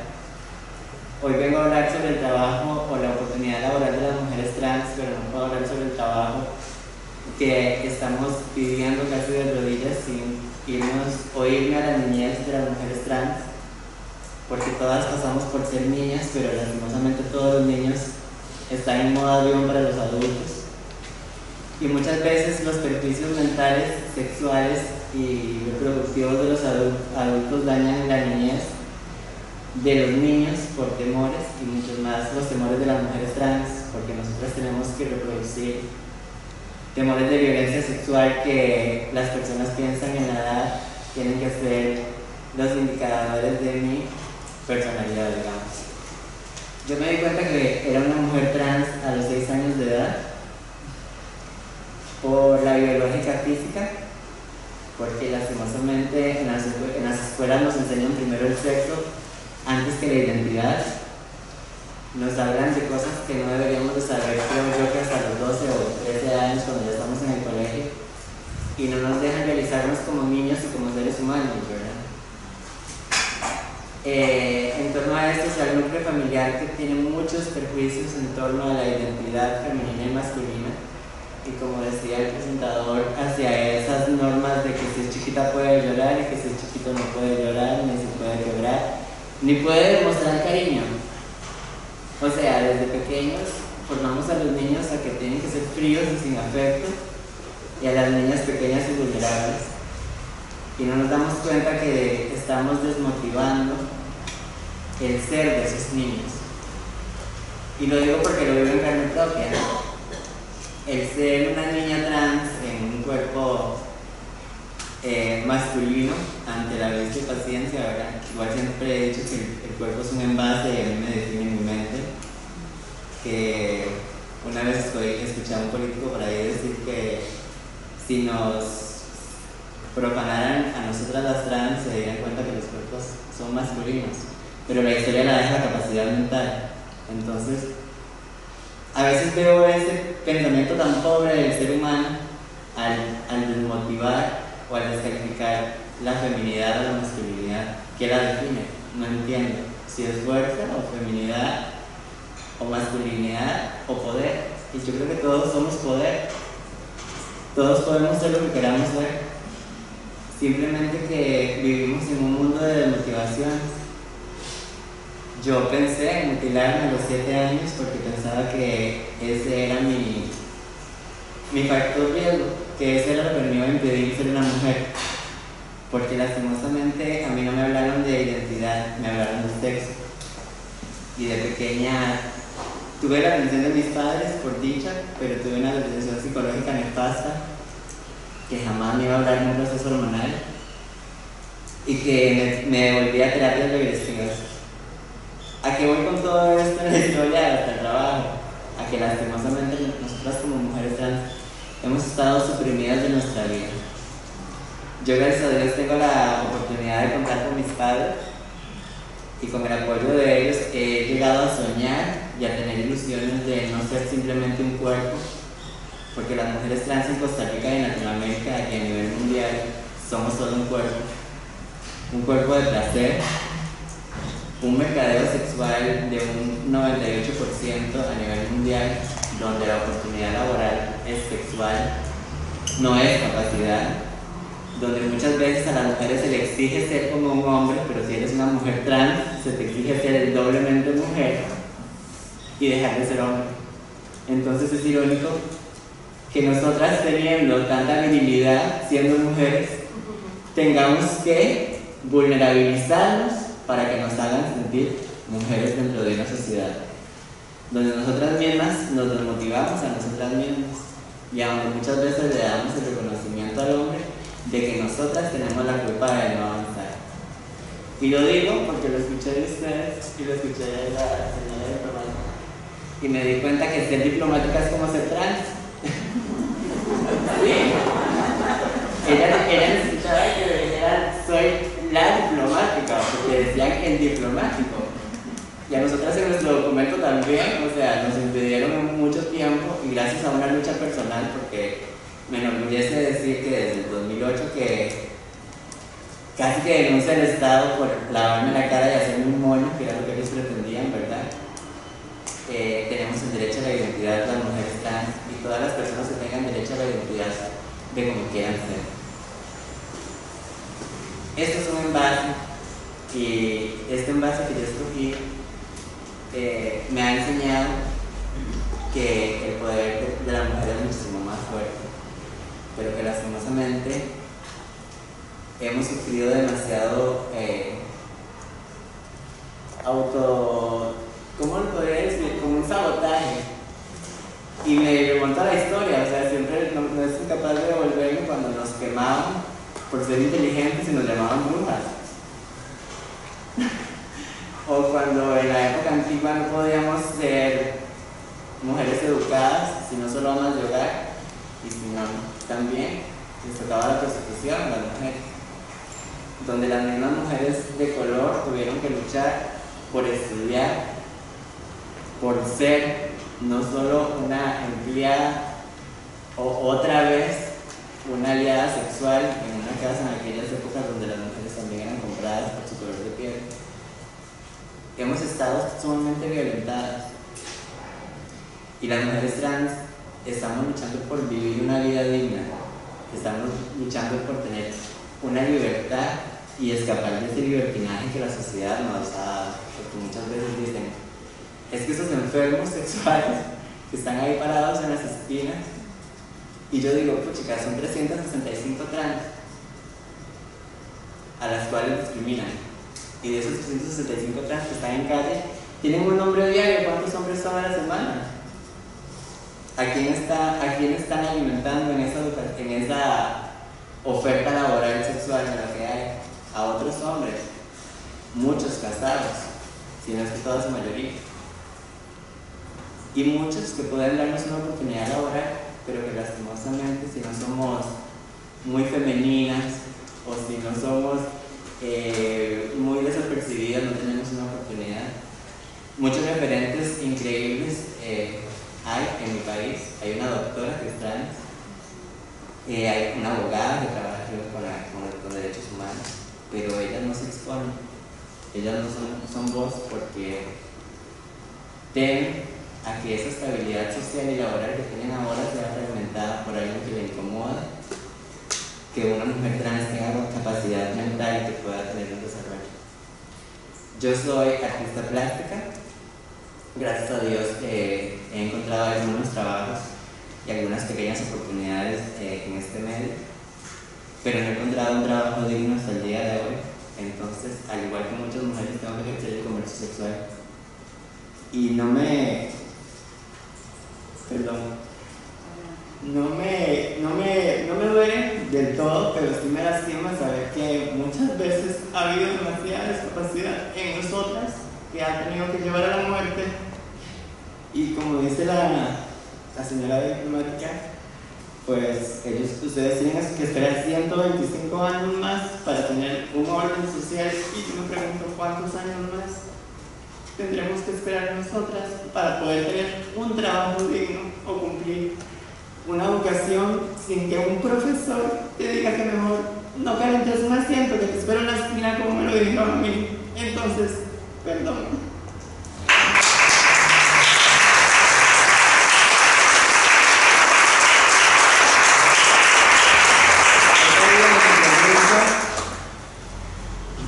¿Quiénes son los, ¿Quién es el perro? No soy yo. Es el cobarde que no se ha aceptado como es y no me deja mi ser. Porque sus temores impiden mi camino. Por eso les pido por favor, la oportunidad social es para todos por igual. Todos tenemos capacidades mentales. Todos somos esto. Esto de acá es un cascarón que se lo lleva el tiempo pero el ser humano más increíble está detrás de sus ojos. Esa belleza no se va nunca, así que vean bien. Y no se olviden que todos tenemos oportunidades y que las mujeres somos más fuertes muchas veces porque soportamos más, pero porque tenemos mucho poder. No descalifico la labor de los hombres, pero lastimosamente nosotras mismas, por querer hacerlos fuertes, les hemos, les hemos dado ese derecho a saber que también pueden ser vulnerables y que pueden llorar. Buenas tardes.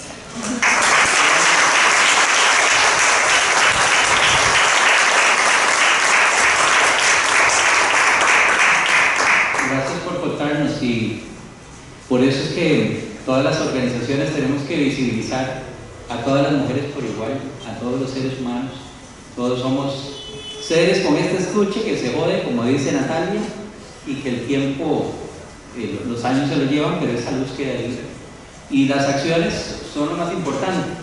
Eh, antes de ir al break, quiero anunciarles que la Cámara de Comercio Diversa va a lanzar el 24 de marzo eh, a varias empresas corporativas la cadena de proveedores diversos, que lo que busca es ayudar a personas como Natalia, como yo, pequeños empresarios, yo soy dueño de una agencia de viajes, y eh, que buscamos certificarnos con este programa para poder inscribirnos en las bases de datos de empresas corporativas a nivel internacional y tener no solo una oportunidad de empleo, sino también una oportunidad de eh, vender nuestros servicios y productos. Y las empresas corporativas, que en algunos casos han sido criticados desde la parte pública o de la sociedad civil en general, somos los que producimos el bien en, en los países y queremos dar oportunidades de empleo, queremos dar oportunidades de, de, hacer crecer los emprendimientos y las empresas son las que están empujando desde ahí atrás también para que todas estas desigualdades se vayan eliminando de la sociedad. Pero como eh, decía antes la señora embajadora eh, de España, es importante que todos hagamos la tarea, no solo las mujeres, no solo los hombres, no solo las empresas, no solo el gobierno, no solo, todos tenemos que hacerlo juntos. Y el programa de, proveedores diversos lo que busca precisamente es empoderar económicamente a las minorías. Eh, este proyecto lo estamos lanzando en conjunto con eh, la cadena Hoteles Marriott que nos ha apoyado desde siempre. Eh, se va a celebrar una presentación en desayuno en el Hotel Hacienda Belén Marriott en, en Heredia el 24 a las 8.30 de la mañana y lo que buscamos con este programa es ayudar a que personas como Natalia tengan una oportunidad, no solo el trabajo ellos, sino también una oportunidad de sacar adelante su emprendimiento. Ella es artista plástica, pinta lindísimo, no sé si vieron el reportaje de la Alianza Francesa en septiembre pasado. Yo la descubrí ahí, no lo sabía. Ah, súper bien, no sabía tampoco. Entonces, es, visibilizar todo esto es sumamente importante porque a la gente hay que contarle la historia. Hay muchos incrédulos en esta sociedad todavía, ¿verdad? Y entonces hay que visibilizar y contar. Este, y para nosotros es demasiado orgullo, así que les invito a sumarse a ese programa. En nuestro sitio web va a estar la información, en nuestras redes sociales, y necesitan más, más información. Antes de ir al, corte de cinco minutos, tenemos cinco minutos así talladísimos, porque la señora embajadora tiene agenda, doña Martela también, ustedes también, eh, para anunciarles y darles gracias también a los patrocinadores. Por aquí tenemos a Café Caturra, este, Aqua Estudio, Juan Pablo, gracias por el arreglo programa, este, a Proyecto Prometeo, a Hotel eh, Marriott, Costa Rica, por el apoyo y espero que no se me escape nadie. IQ Radio también que nos ha estado apoyando. Así que eh, cinco minutos tienen, baño, llamadas y volvemos rapidísimo. Muchísimas gracias. Nuestra siguiente expositora es eh, la señora Celia Parra, que es eh, la gerente de recursos humanos de los hoteles de Mar Costa Rica, y voy a ver que ella misma se presente sola. Muchísimas gracias Celia y a la cadena Marvel por este apoyo. Muchísimas gracias, Julio César. Bueno, muchísimas gracias a todos por acompañarnos, a todos y todas. Este, en realidad es una mañana súper interesante. Eh, creo que hemos recibido información muy valiosa, ¿verdad? Y este, la idea es seguir escuchando para seguir liderando, para seguir este, progresando en este tema de liderazgo femenino. Entonces, me van a ayudar ahí con una presentación. Muchas gracias. Bien, como dijo Julio César, mi nombre es Tania Parra, yo soy la directora de Mercado de Recursos Humanos, no de Mercadeo, de Mercado de Recursos Humanos de Costa Rica. Eh, estoy a cargo de 8 de, las 13, eh, de los 3 hoteles Marriott que tenemos acá en Costa Rica y pues feliz de poderles acompañar esta mañana y poder compartir un poquito la experiencia. Tengo 21 años de trabajar para Marriott en el área de recursos humanos, estudié biología hace, no me acuerdo, la verdad, hace como 24, 25 años. estudié biología, este, terminé haciendo mi práctica en el Hotel Costa Rica Marriott en Belén, eh, en el área de alimentos y bebidas, y pues terminé trabajando en recursos humanos. Todas esas vueltas que da la vida que no tienen nada que ver una cosa con lo que uno estudia, con lo que termina, Pero encontré mi pasión en recursos humanos hace 21 años, este, he pasado por todas las posiciones de recursos humanos y me encanta lo que hago. Por eso quería compartir con ustedes un poquito esa experiencia que he tenido este, a través de los años en la parte del liderazgo femenino, He visto pasar en todas las posiciones que se pueden encontrar en un hotel este, cientos de mujeres este, que actualmente son muy exitosas en puestos de liderazgo y también he conocido algunas que han abandonado esa carrera, ¿verdad? Por estereotipos y por situaciones este, de no seguir luchando a través de, la historia. Entonces, vamos a empezar a hablar de liderazgo empresarial femenino. Este, ya escuchamos un, un, poquito a nivel de lo que es política, a, nivel de lo que es gobierno. Este, ahorita, después de mi presentación, también vamos a escuchar lo que tienen para nosotros. Pero a nivel empresarial, a nivel de la parte laboral, ¿qué es importante que nosotros debemos de, de conocer? Bueno, yo en realidad creo que hay, vamos a ver, vamos a esperar un creo que hay algo muy importante, este, que es trabajar nosotros como mujeres, todas las que tenemos la oportunidad de estar en puestos de liderazgo, en el tema de la equidad de género. Yo este, voy a tratar solamente tres puntos porque quiero ser muy concisa en que ustedes se lleven cosas importantes que puedan aplicar en su vida personal y en su vida laboral cuando las mujeres lideran, ¿qué debemos realmente de hacer? Realmente en la vida y en la práctica, ¿qué debemos de hacer cuando, cuando, cuando, tenemos un trabajo de líder? Los estereotipos y paradigmas y la marca personal. No nos podemos ir sin hablar de marca personal cuando hablamos de liderazgo. Entonces, a nivel de eh, qué hacemos cuando las mujeres lideran, hay muchísimas situaciones que se presentan que hacen que realmente se abandone el esfuerzo, el sueño. Tenemos mujeres súper preparadas, tenemos mujeres graduadas, tenemos mujeres con experiencia, tenemos mujeres con emprendedorismos impresionantes, que a veces uno no sabe de dónde salen esas ideas, ¿verdad?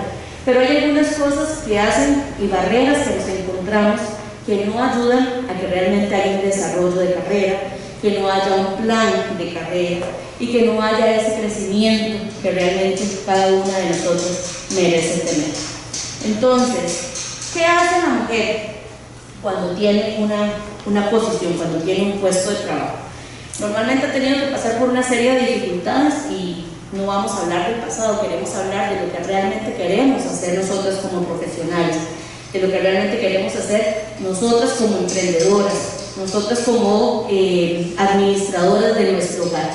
Eh, mejoramos la gestión completamente. Hay estadísticas de que cuando empezamos a trabajar con hombres, cuando se empieza a generar esa diversidad, eh, tanto hombres como mujeres, en una junta directiva, en una empresa, hay un 23% de crecimiento y de los ingresos de esa organización. Y esos son estadísticos reales. ¿Por qué? Porque realmente tenemos la capacidad de mejora de gestión y de obtención de resultados. Ya las mujeres por sí solas traemos una serie de organización dentro del hogar, dentro de la familia, nuestros hijos, nuestros hermanos, la ayuda que le damos a la mamá, el, servicio que inclusive a veces y antes se le daba al papá, hace que nos organicemos de una manera completamente diferente. Ya esto lo traemos innato. Hay que empezar a direccionarlo. Y gestionar significa realmente que yo me prepare como mujer, que yo realmente tenga el conocimiento, tenga la experiencia y tenga una línea y una meta de hacia dónde yo quiero ir, de hacia dónde yo realmente quiero avanzar. Porque si yo pregunto aquí, en este público, hombres y mujeres, ¿cuántos de nosotros nos hemos eh, o tenemos en este momento una meta o hacia dónde queremos llegar profesionalmente? ¿Quién me levanta la mano? Un montón, ¿verdad? Porque tenemos que planificar, tenemos que pensar, tenemos que soñar inclusive de que podemos alcanzar un montón de cosas. Tenemos mayor compromiso social y esto es uno de, las, de, los componentes creo que más importantes del papel de la mujer en una organización. El compromiso social que realmente hace que yo abrace un montón de empresas, ¿verdad? Que yo abrace este, un montón de organizaciones, que yo dé soporte a todas esas eh, pymes y pequeñas empresas que están dentro del área donde se encuentra mi organización. Porque vemos más allá, siempre estamos tratando de apoyar y de ayudar. Escuchamos a nuestros hijos, escuchamos a nuestros hermanos, a nuestros sobrinos, hablar del emprendimiento, de hablar del negocio que tiene el papá del, del niño, ¿verdad? Del compañerito, y queremos siempre estar apoyando a la sociedad apoyando en todos los diferentes esquemas que hay, la parte política, la parte social, la parte educativa, este, la parte de salud. Y yo a veces les, comento, eh, a, nosotros le decimos asociados a los empleados, a mis asociados y les digo, cuando ustedes van a una reunión de padres de familia, ¿qué cantidad de papás llegan a esa reunión de padres de familia? De un 100%.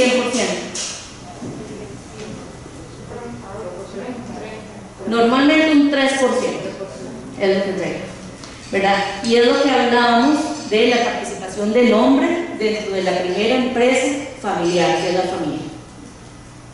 ¿Por qué? Porque vemos, aunque la mamá trabaja, es la responsable de ir a las reuniones de la escuela. Aunque la mamá trabaja, es la responsable de ayudar en la mayoría de las tareas del hogar. Entonces, nosotros tenemos un, un abrazo grande para la parte social y eso nos hace ser más competitivas con respecto a los hombres en la parte laboral. Y un liderazgo mucho más participativo. Trabajamos mucho mejor en equipo.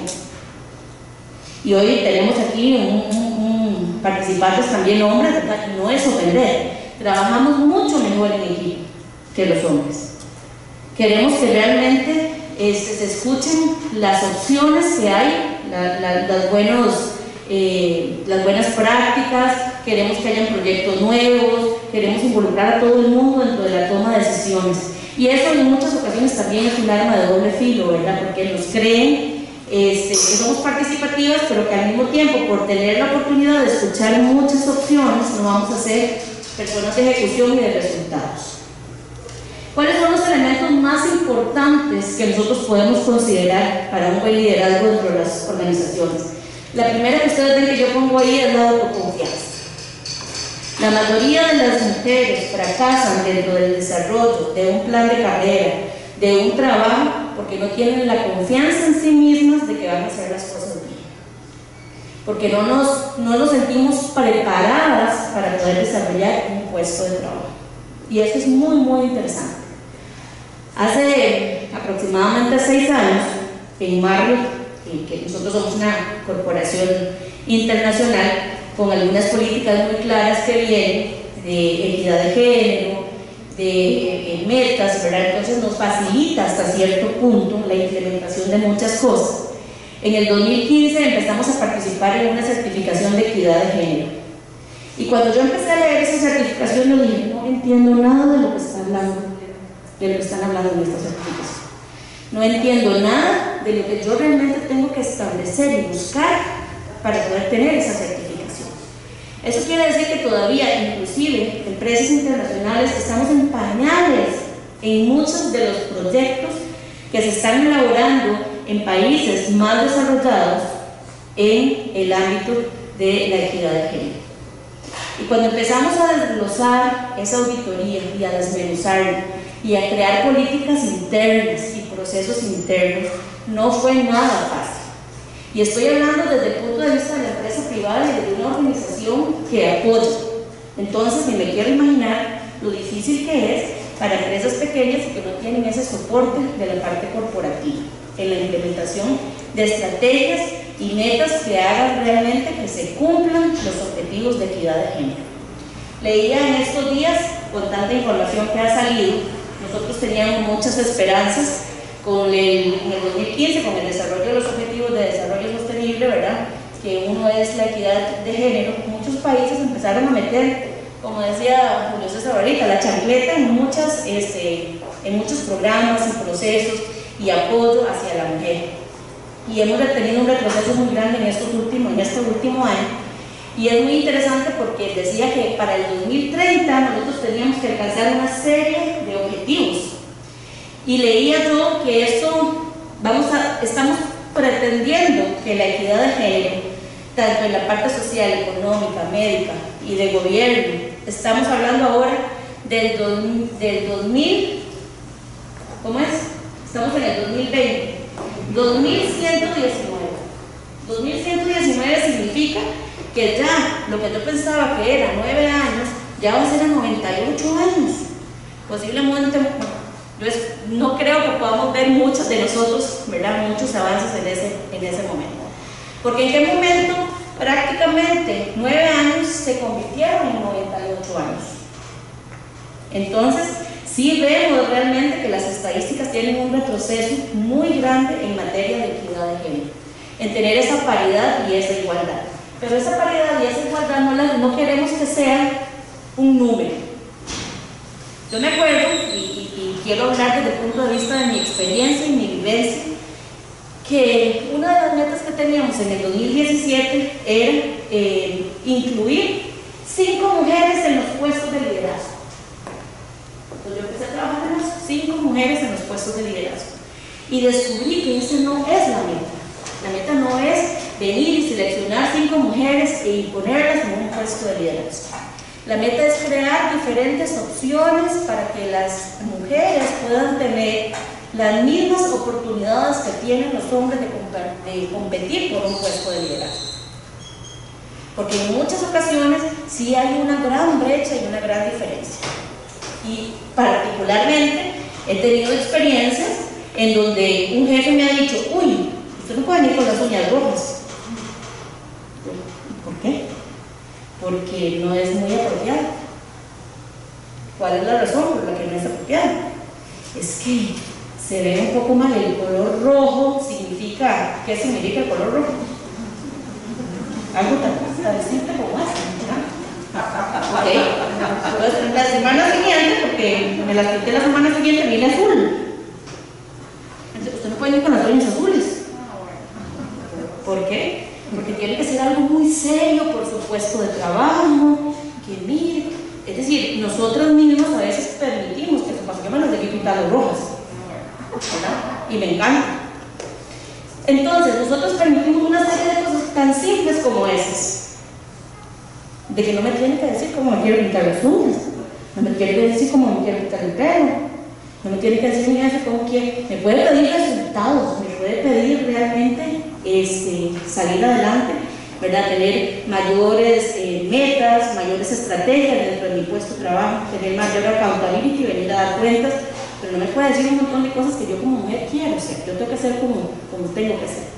Miren qué interesante, tenemos muchos caminos. Brechas salariales supermercados, 33% del salario de los hombres es mayor que el de las mujeres.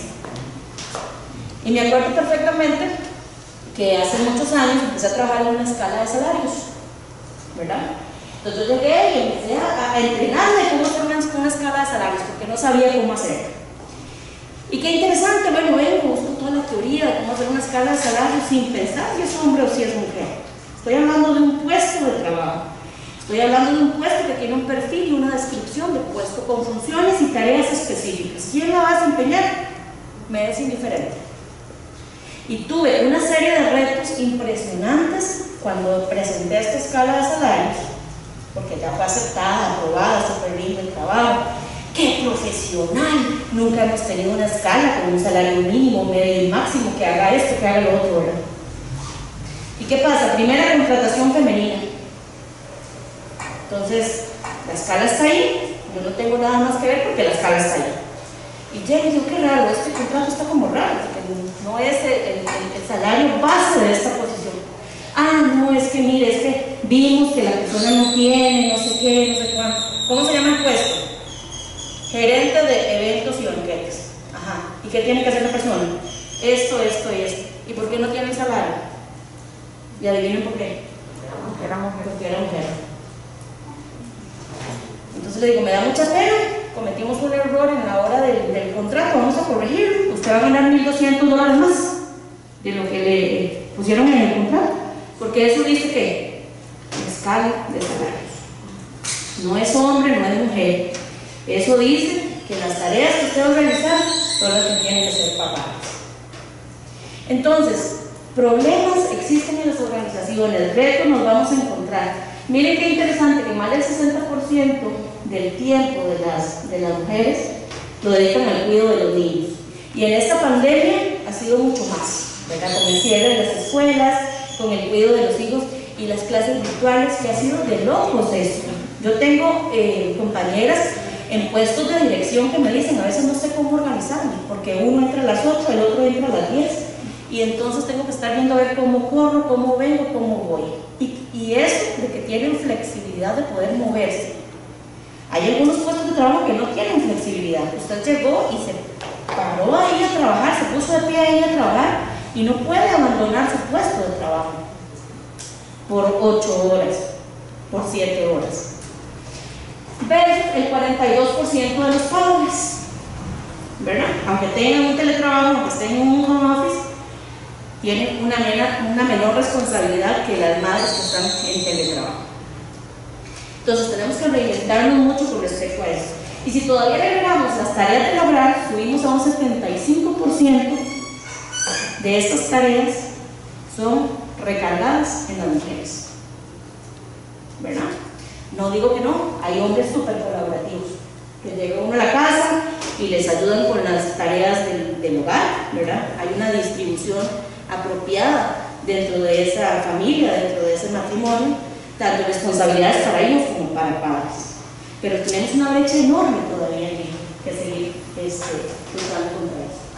¿En qué está la clave? En el empleo femenino, de la reactivación económica, en tomar decisiones de gobernanza inclusivas, no solamente nosotros, gobierno, eh, las diferentes instituciones, los nexos y los, y los contactos que podamos generar en eventos como este, estar participando, estar actualizando, eso es súper importante, ¿verdad? Participar siempre con las actividades de la comunidad, con las actividades de las pequeñas empresas, de las grandes empresas, con toda la innovación, con todo el talento que va saliendo de las universidades, con toda la experiencia que tenemos de mujeres que se están moviendo entre posiciones y que van dejando ahí un legado enorme para desarrollo. Trabajar muchísimo en desarrollo de carrera, asegurarnos realmente de que parte de la participación de la mujer en la economía es muy, muy importante para nosotros salir adelante como sociedad. Porque yo les digo otro dato importante. Hablaba la señora embajadora que más o menos el 52% de la población es mujer, ¿verdad? Entonces, ¿quién hace las compras de la casa? La mayoría de las veces. ¿Quién? Las mujeres, ¿verdad? Entonces estamos hablando de un 80% de las compras de la casa las hacen las mujeres. Entonces, ¿estamos involucrados en la economía? Por supuesto, somos los que tomamos las decisiones desde el hogar. Desde el hogar. Ayer allá hablaba con una compañera que está aquí, que hoy me acompañó, que me trabajó conmigo hace como 20 años más o menos. Y hablábamos de lo que nosotros hacíamos con proveedores. Nosotros hacíamos hace 20 años, estoy hablando de ahora. Le decíamos al proveedor, yo quiero que la M de Margot salga en este café y le voy a comprar tanto y esto es lo que yo le voy a pagar y esto es lo que yo le puedo ofrecer y yo le voy a dar esto y esto y esto. Y teníamos la M de Margot en el café. ¿Por qué? Porque realmente somos muy buenas negociadoras. Y tenemos que aprender a manipular las cosas, a manipular bien las cosas, no a manipular mal. A manipular las cosas en favor nuestro, en favor realmente de desarrollarnos y de ser como somos. Y también tenemos que aprender a salvaguardar los puestos femeninos dentro de las empresas. Y ya les dije, no como un número, como una oportunidad de ser parte de una empresa y de tener el talento que ya realmente requerimos. Let's talk about the dream time. Este video, salió, salió de pronto, ¿verdad? Este video me encantó. Y ya les voy a decir por qué. Nada más ven qué hermoso tener una oportunidad como esta.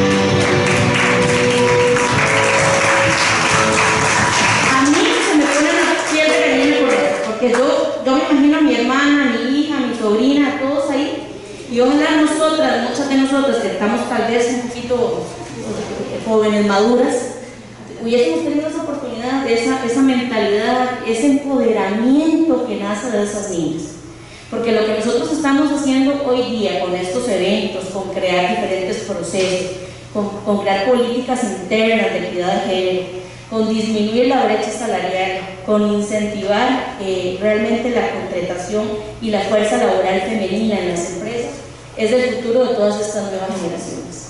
¿Y saben qué pasa en nuestras empresas? Los chicos que vienen, los que llamamos los Y Generation, los Z y todos estos, no ven entre- en, en las empresas que haya problema de equidad, no ven que haya problema de igualdad. Ellos vienen con otra mentalidad y se encuentran un, realmente una, se encuentran una realidad diferente, porque se encuentran con problemas para poder crecer, se encuentran barreras para poder desarrollarse como son. Entonces tenemos que seguir trabajando, tenemos que seguir luchando por eso. La pandemia ha reabierto mucho los avances en materia laboral. ¿Qué tenemos que hacer? Mayor flexibilidad. Y aquí tenemos que trabajar mucho en la parte de gobernanza. El Código de Trabajo de Costa Rica no nos ayuda mucho en, en muchas cosas, ¿verdad? Y mucho menos en la parte de jornadas flexibles para las mujeres. Jornadas flexibles que realmente incluyen horarios flexibles, jornadas adaptadas y modelos híbridos, que yo pueda hacer una parte en casa y pueda hacer una parte en la empresa. Eso es muy, muy importante en esta época en que hemos tenido sobre procesos, por todo lo que hemos mencionado, y tenemos que seguir avanzando con eso. No me puedo ir sin mencionar dos cosas. Paradigmas. ¿Qué nos dicen? Que somos incapaces, que somos emocionales, que somos incompetentes. ¿Y qué tenemos que demostrar? Visibilidad. Tenemos que ser visibles, no tenemos que ser un fantasma.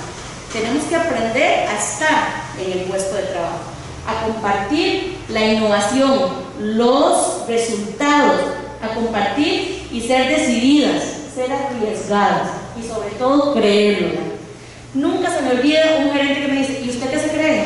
Yo me creo la directora de recursos humanos de este hotel. Y ese es el proceso que tenemos y se va a hacer de esa manera. Porque tenemos que creernos el puesto de trabajo. Alguien me decía, y para eso nos pagan. No solamente es que para eso nos pagan, es que realmente tenemos una responsabilidad, una responsabilidad femenina de sacar adelante ese puesto, de apoyar a otras mujeres. Porque uno también de los paradigmas que tenemos es que las mujeres son muy chismosas, de que posiblemente no va a cumplir con la flexibilidad que se ocupa para el puesto de trabajo. Un gerente me dice, yo no contrato mujeres porque no las puedo llamar el fin de semana. Y yo le dije, ¿para qué las va a llamar el fin de semana? ¿Usted le paga disponibilidad? No, pero igual como llama un fin de semana porque tiene una emergencia en el puesto, puede llamar a una mujer. Pero no es que la va a estar llamando todo el tiempo para molestar, porque tenemos un horario también y tenemos que crear un balance, un balance laboral, un balance personal. Tenemos que tener también la oportunidad, ¿verdad?, de, de, de, de desintoxicarnos de tener espacios para nosotros mismos y para las familias. Y por último, porque sé que me pasó unos minutitos, personal. Y de marca personal, de todo lo que sale ahí, si me ayuda con algo. Por favor, gracias. Y de marca personal, ¿qué les quiero decir? Mujeres, hay que cacarear. Me encanta esa palabra, cacarear. Tengo mujeres tan exitosas en cada uno de los hoteles, en cada una de las marcas, marcas selectas, marcas de lujo, que no saben cacarear.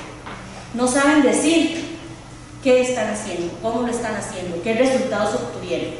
Y cuando empiezan a cacarear, empiezan como a brillar. Realmente es como, como, como convertir un patito en un cisne, ¿verdad? ¿Por qué? Porque son personas que, eh, muy empoderadas, son personas que muestran muchísimas habilidades, que crean contactos dentro de su puesto de trabajo interno y externo, que generan confianza e imagen, pero que no saben explicarle al mundo, explicarle a su jefe y explicarle a los demás que están haciendo. Tenemos que aprender a reportar, tenemos que aprender a decir, eso lo hice yo y lo hice bien. Eso lo hice yo con mi equipo de trabajo. O eso lo hizo mi equipo de trabajo conmigo, como quieran decirlo. ¿verdad? No es ego, es realmente el esfuerzo de cada una de nosotros. Termino prácticamente con un mensaje de cómo realmente queremos vernos. Hace dos semanas apenas, con todas nuestras políticas internas, tuve una sesión de one on one, de uno a uno, con una directora. Y me hizo muchísima gracia porque le digo, algo estamos haciendo mal. Porque cuando te propuse para el plan de desarrollo, para el plan de líderes emergentes, nadie me apoyó. Y me extraña muchísimo, porque estoy muy preparada, ¿verdad? Tiene una maestría, es sommelier, ha hecho un montón de, de, cosas impresionantes por su carrera a nivel de preparación. Le digo, eh, das excelentes resultados mes a mes, aún con pandemia. Tienes un equipo de un resultado de 93% de engagement en, en, en, el departamento. Es decir, si me pongo a mencionar el montón de cosas que tenía esa persona y cuando la mencioné para el plan de líderes emergentes, nadie me apoyó. Algo estamos haciendo mal. ¿Qué creen que es lo que estamos haciendo mal? No estamos preparando.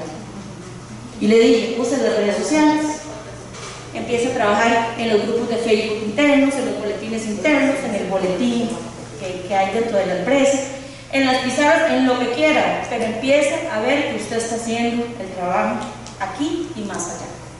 Porque nosotros tenemos que crear valor. Tenemos que crear valor en lo que realmente somos, como mujeres y como profesionales.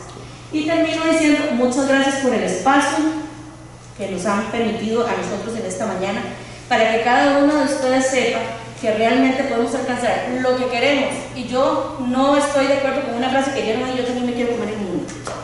Y ojalá tuviéramos mucho menos años, muchas de nosotros, con las oportunidades que hay ahora para realmente podernos comer el mundo. Así que muchas gracias.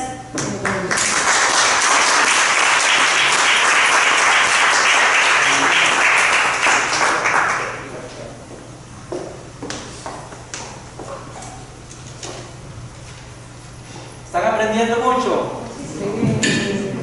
Hemos hablado de política global, de la parte de empoderamiento en el lugar de trabajo, como empresarias, y me recuerda mucho ahora lo que decía Senia Cacarial, porque fue lo que hicimos como cámara en el 2015, cuando tenía cinco amigos con los que iba a iniciar la cámara y hoy no tengo ninguno en la cámara, pues nadie creía y lo que hicimos fue cacarear. Y entonces hice lo que, y, y el consejo se lo doy, funciona muy bien. Eh, ¿Se acuerdan de la película del ratón Mickey Mouse? Cuando pasaba por la candela y se veía muy grande la sombra atrás. Él era de este tamaño, pero la sombra proyectada se ve enorme. Cuando vi esa fábula en YouTube, porque la busqué, no sé, quería verla, un día a las 3 de la mañana, dije, mira, eso es lo que hay que hacer, hay que cacarear, poner la candelita ahí, pasar por el frente, me voy a proyectar allá enorme y miren dónde estamos, ¿verdad? Y eso es lo que hay que hacer, cacarear esa palabra es divino. Eh, arroba cacarear, ¿eh? eh, eso. Bueno, eh, nuestro siguiente expositor es José Luis García, psicólogo entre otras. Así que, José, bienvenido de nuevo. Gracias, gracias. ¿Me escuchan?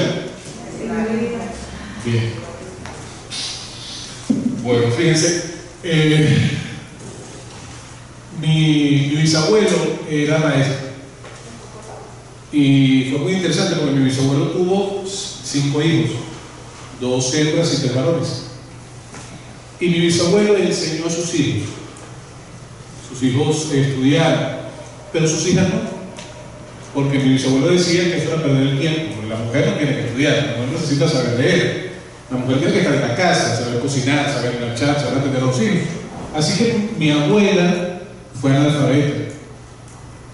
Y mi abuela se casó muy joven y tuvo seis hijos. Tuvo cuatro varones y dos hembras.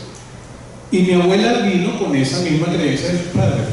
La mujer pues estar en la casa, además imagínense, con cuatro varones y un marido exigente, pues necesitaba ayuda para atender a todo el montón de hombres. Pero mi mamá empezó a ver a sus hermanos ir al colegio, mi mamá se empezó a escapar para ir al colegio. Sea, ella supuestamente tenía que ir a hacer, a lavar o qué sé yo, y ella se escapaba y se iba al colegio. Y una maestra del pueblo, empezó a ver a esa niña llegar de vez en cuando, le llamó la atención. Entonces fue a hablar con ella y mi mamá le dijo que ella se escapaba, pero que no podía ir al colegio. Entonces esa maestra fue a hablar con mi abuela. Y le dijo que necesitaba alguien que la ayudara en su casa, pero una, de las señoras de mucho dinero del pueblo. Entonces mi, mi mamá supuestamente iba a trabajar con esta señora, pero realmente iba a estudiar. Y así fue que mi mamá sacó su primaria. Pero, pues, como es muy común, se casó muy joven con un hombre que venía con unas creencias muy parecidas, porque si mi abuela materna tenía creencias limitantes, ni le cuento de mi abuela paterna. Mi abuela paterna era peor. Entonces, mi mamá no pudo seguir estudiando. Y además de eso, mi mamá, que parió nueve muchachos, somos seis hembras, somos tres varones, tuvo que dedicarse a la casa, ¿no? con un marido sumamente exigente. Y tuvo que dejar de estudiar, pero resulta que el tema de la independencia y el tema del estudio se le convirtió a mi mamá en una especie de obsesión. Yo siempre recuerdo de pequeño a mi mamá decirle a mis hermanas, estudien, tengan una carrera para que no le aguanten nada a ningún hombre. Siempre lo decía. Pero también recuerdo que nos decía a nosotros, aprendan a lavar y a planchar y a cocinar para que no le aguanten a ninguna mujer. Entonces fue muy interesante ese tema. Después no lo pude estudiar al final, después de mucho tiempo, ya se los contaré en otra oportunidad, pero lo interesante de esta historia es que nosotros vamos a hablar hoy de creencias, yo lo voy a hablar de creencias y de una u otra forma todos los conferencistas que han estado antes han hablado del tema de las creencias. Porque vamos a darnos cuenta que las creencias es lo que define nuestra manera de estar en el mundo, de ser en el mundo, de comportarnos en el mundo, pero especialmente de tomar decisiones. Y esas creencias vienen de una manera enorme dentro de nuestros genes, se forman con nuestra historia, nos acompañan en nuestra vida. Y esas creencias van de otra forma a limitar la manera como nosotros actuamos. Pero también vamos a aprender que cuando nosotros somos capaces de enfrentar una de esas creencias y somos capaces de romper, de cambiar una de esas creencias, no solamente cambiamos nuestra vida y la manera como nosotros estamos en el mundo, sino que impactamos a aquellas personas que están al lado de nosotros que son importantes.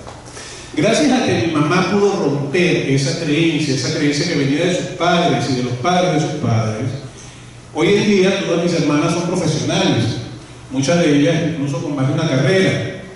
Eh, y bueno, yo hago un país de limón que si te lo comes de puertas.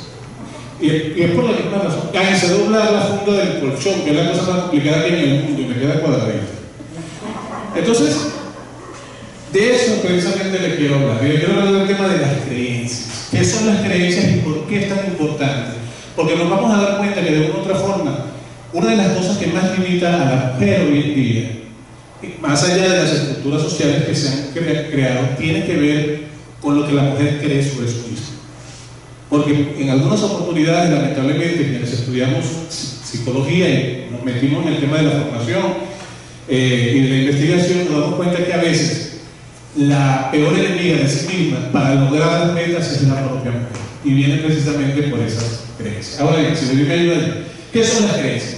Hay una frase muy interesante que dijo un inglés, Robert Walker, decía, una creencia no es una idea que la mente posee, es una idea que posee la mente. Y él tenía mucha razón. Porque las creencias son esas estructuras psicológicas que marcan nuestra manera de funcionar. Y las creencias tienen dos cosas que son básicas.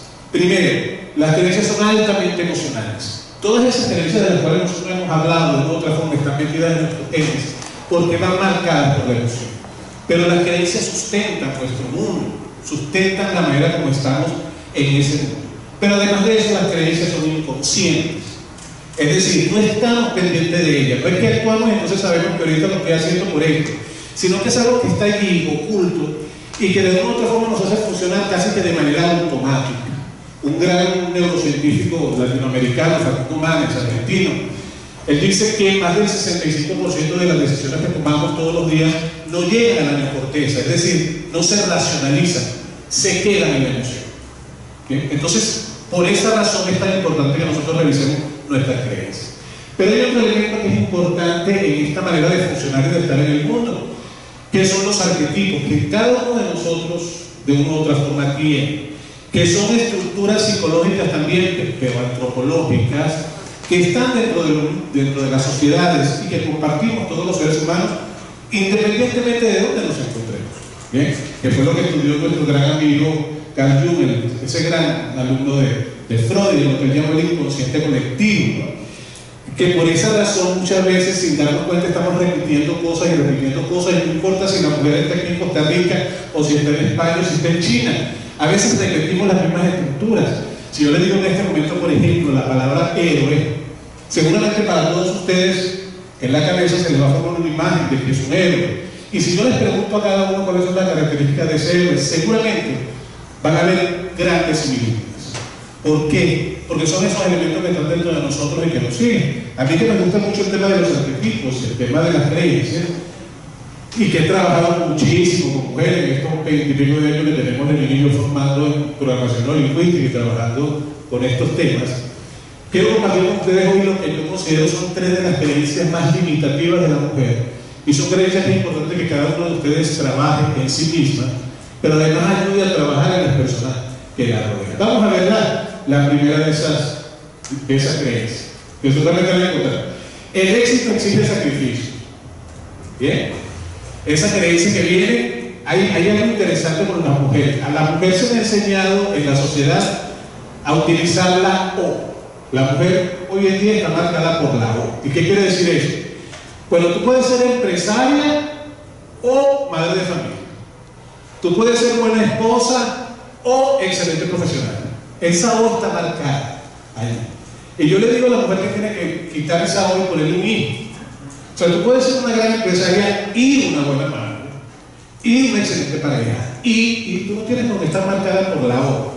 Pero esa O ha marcado muchísimo a la mujer en su estructura de cómo funciona el mundo. Pareciera que tener éxito, pareciera que ser profesional y exitosa requiere de sacrificar el resto de las cosas de tu vida. Y por eso yo digo que es la hegemonía de un arquetipo muy fuerte en la mujer, especialmente la mujer europea, es el arquetipo de Atenea. Atenea es la diosa, en la mitología griega es la diosa de la estrategia, es una diosa guerrera, nació de la cabeza de Zeus. Por lo tanto, hay un elemento claro en la parte racional, la parte lógica. ¿Bien? Y ese arquetipo, el arquetipo de Atenea, esa mujer guerrera que sacrifica todo por su carrera, tiende a estar muy presentes en la mujer. Y lamentablemente, según los estudios que se están haciendo en la actualidad, es el arquetipo que se está imponiendo. Es decir, la mujer está entendiendo que para lograr el éxito profesional que la sociedad debe estar exigiendo, pareciera que tiene que sacrificar el resto de las. Entonces tiene que sacrificar la familia, tiene que sacrificar los hijos, tiene que sacrificar la pareja, tiene que sacrificar una serie de cosas para lograr esto. Y resulta que no es cierto. Hay grandes mujeres que han demostrado que se puede ser completa en todo.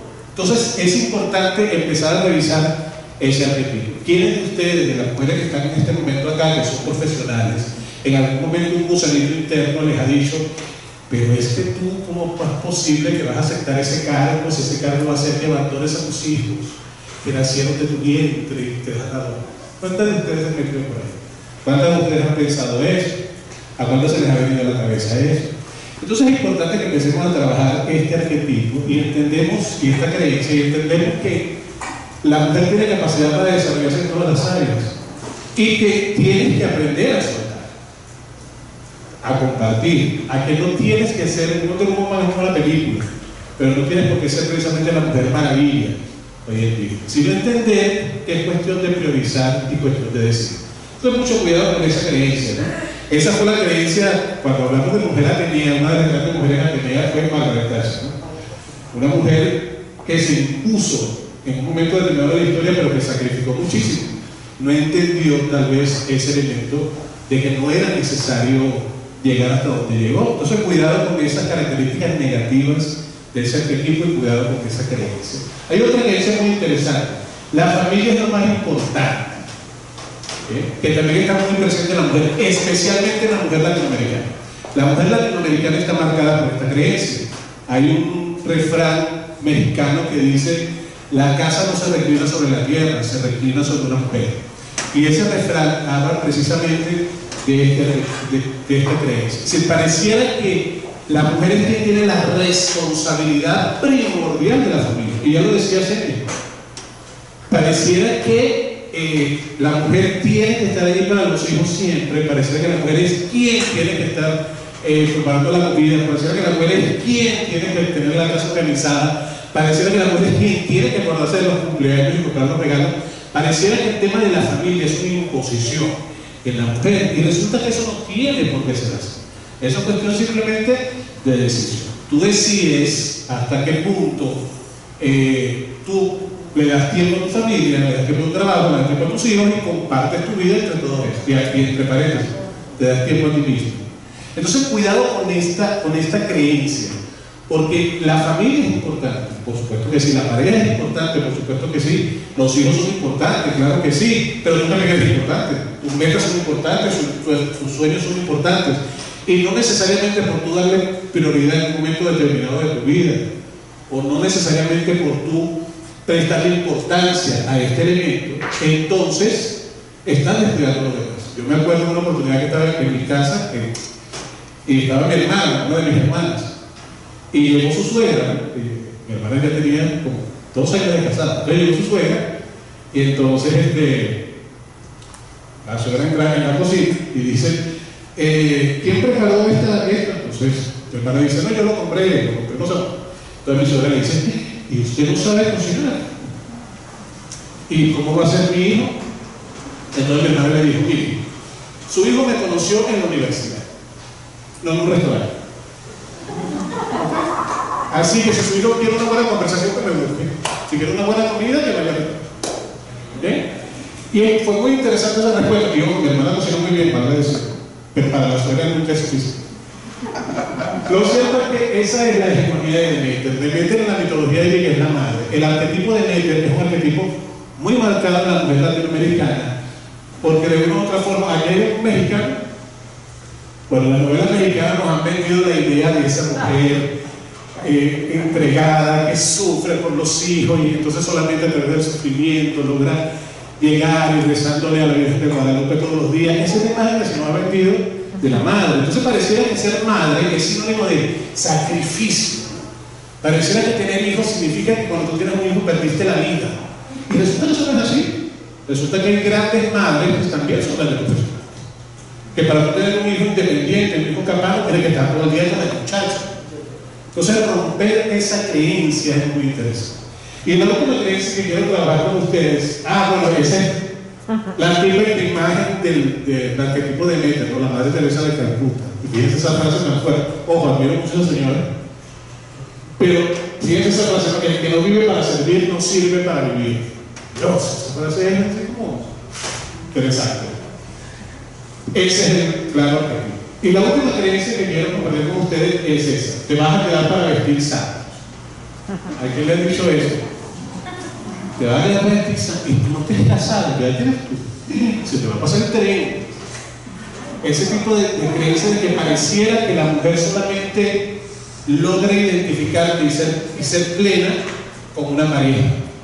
Fíjense que hay una frase muy común que es constante, ¿no? este, cuando una mujer eh, tiene su primera relación. Entonces dicen, eh, se convirtió en mujer. Pareciera que lo que define a la mujer es como que, que está por hombre. Y esa creencia viene precisamente por este tema, que es muy marcado también en la mujer latinoamericana. Pareciera que la mujer cuando está sola causa una mala impresión. Y, y es interesante, cuando la mujer está sola y cambia su estatus, se casa, entra con una pareja, pareciera que entonces cambia la manera como la sociedad la ve. Mi abuela paterna, yo me acuerdo que decía, la punta del seno solamente la ve el marido y el hijo chiquito, decía ella. Fíjense que es la punta del seno, estoy aquí. Decía, la mujer decente no enseña el seno. Hay unas cuantas damas que deberían abandonarse, según mi abuela, como sí. Bien. Porque mi abuela decía que eso era incorrecto, que eso no podía ser, que en cuanto una mujer se casa tiene que recogerse el cabello y subirse el botón. Ese tipo de creencia viene marcada por ese, esos arquetipos tan fuertes. Y en el caso de la necesidad de la pareja, de esas mujeres que piensan que solamente se van a convertir en mujeres o que van a ser completas cuando un hombre está a su lado, estamos hablando de la hegemonía de Afrodita. Afrodita era la diosa de la belleza, no del amor, de la belleza. Nació de los testículos de Urano. Fíjense, Atenea nace de la cabeza, de Zeus, ¿eh? pensamiento, la inteligencia. Afrodita nace de los testículos de Urano, es decir, la energía sexual. Entonces decimos que este tipo de mujeres que están marcadas por este arquetipo son mujeres que van a necesitar continuamente un hombre que las respalde, que las apoye, que les dé seguridad. Son mujeres que no se van a sentir completas hasta que son capaces de tener una pareja a su lado. Y resulta que hoy en día tienes que entender que la pareja es una decisión, no una necesidad. O sea, tú estás en pareja porque tú decides estar en pareja, no porque la sociedad te diga que vas a estar en pareja. Tú tienes hijos y tú decides tener hijos. Tú no tienes por qué ser obligatorio tener hijos. Yo, tuve una hermana que fue eh, estéril, no pudo tener hijos y ella hizo mucho, mucho para tener hijos. Y yo recuerdo que, que- que las amigas se reunían, hacían reuniones en la casa para darle fórmulas para tener hijos, ¿no? porque estaban todas como desesperadas por ella. Y ella le decía, pero dejen el drama, si yo si lo- tengo los tengo, si no los tengo, los tengo. ¿no? Recuerdo que le decían, "Eh, tómate todas las noches un- un- una copita de vino tinto. Y otra le decía, y otra le decía todas las mañanas en ayuna un huevo crudo. Entonces ella me decía, José Luis, voy a convertir en alcohólica o en gallina, porque ando, ando bebiendo vino todas las noches. ¿Y por qué? Porque es que parecía que si no tenía un hijo, iba a ser una persona incompleta. Y resulta que es una mujer muy completa, tiene 62 años, nunca tuvo hijos, y sin embargo es una mujer feliz. Entonces, cuidado con ese tipo de arquetipos. Un ejemplo claro de esa hegemonía del arquetipo afrodita fue esta, esta hermosura de mujer que fue Marilyn Monroe. Marilyn Monroe fue una mujer que, si ustedes analizan su vida, una mujer con un talento extraordinario que nunca lo pudo desarrollar, porque fue una mujer que siempre pensó que para poderse desarrollar necesitaba un hombre a su lado. Y fíjense todas las parejas que tuvo, y fíjense cómo terminó. Entonces, ¿cuál es el mensaje al final? Revisa ese tipo de cosas. Y yo le voy a dar tres, tres tips para eso, el famoso número tres. Primero, con el tema de las creencias. Primero, revisa tus tengo, tus quiero y puedo. Una de las cosas que principalmente nos habla de cuando estamos ante una creencia es esa palabrita tengo o esa palabrita puede. En programación neurolingüística decimos que son operadores modales, son palabras que limitan una creencia. Es que yo no puedo hacer tal cosa porque ¿qué va a decir la gente? Es que yo no debería hacer eso porque yo estoy casada. Es que yo no debería ir para tal parte porque yo tengo hijos. Esa, esa serie de deberes y de teneres lo que hablan son de creencias muy fuertes arraigadas. Y yo digo, revisa los cámbialos por quiero.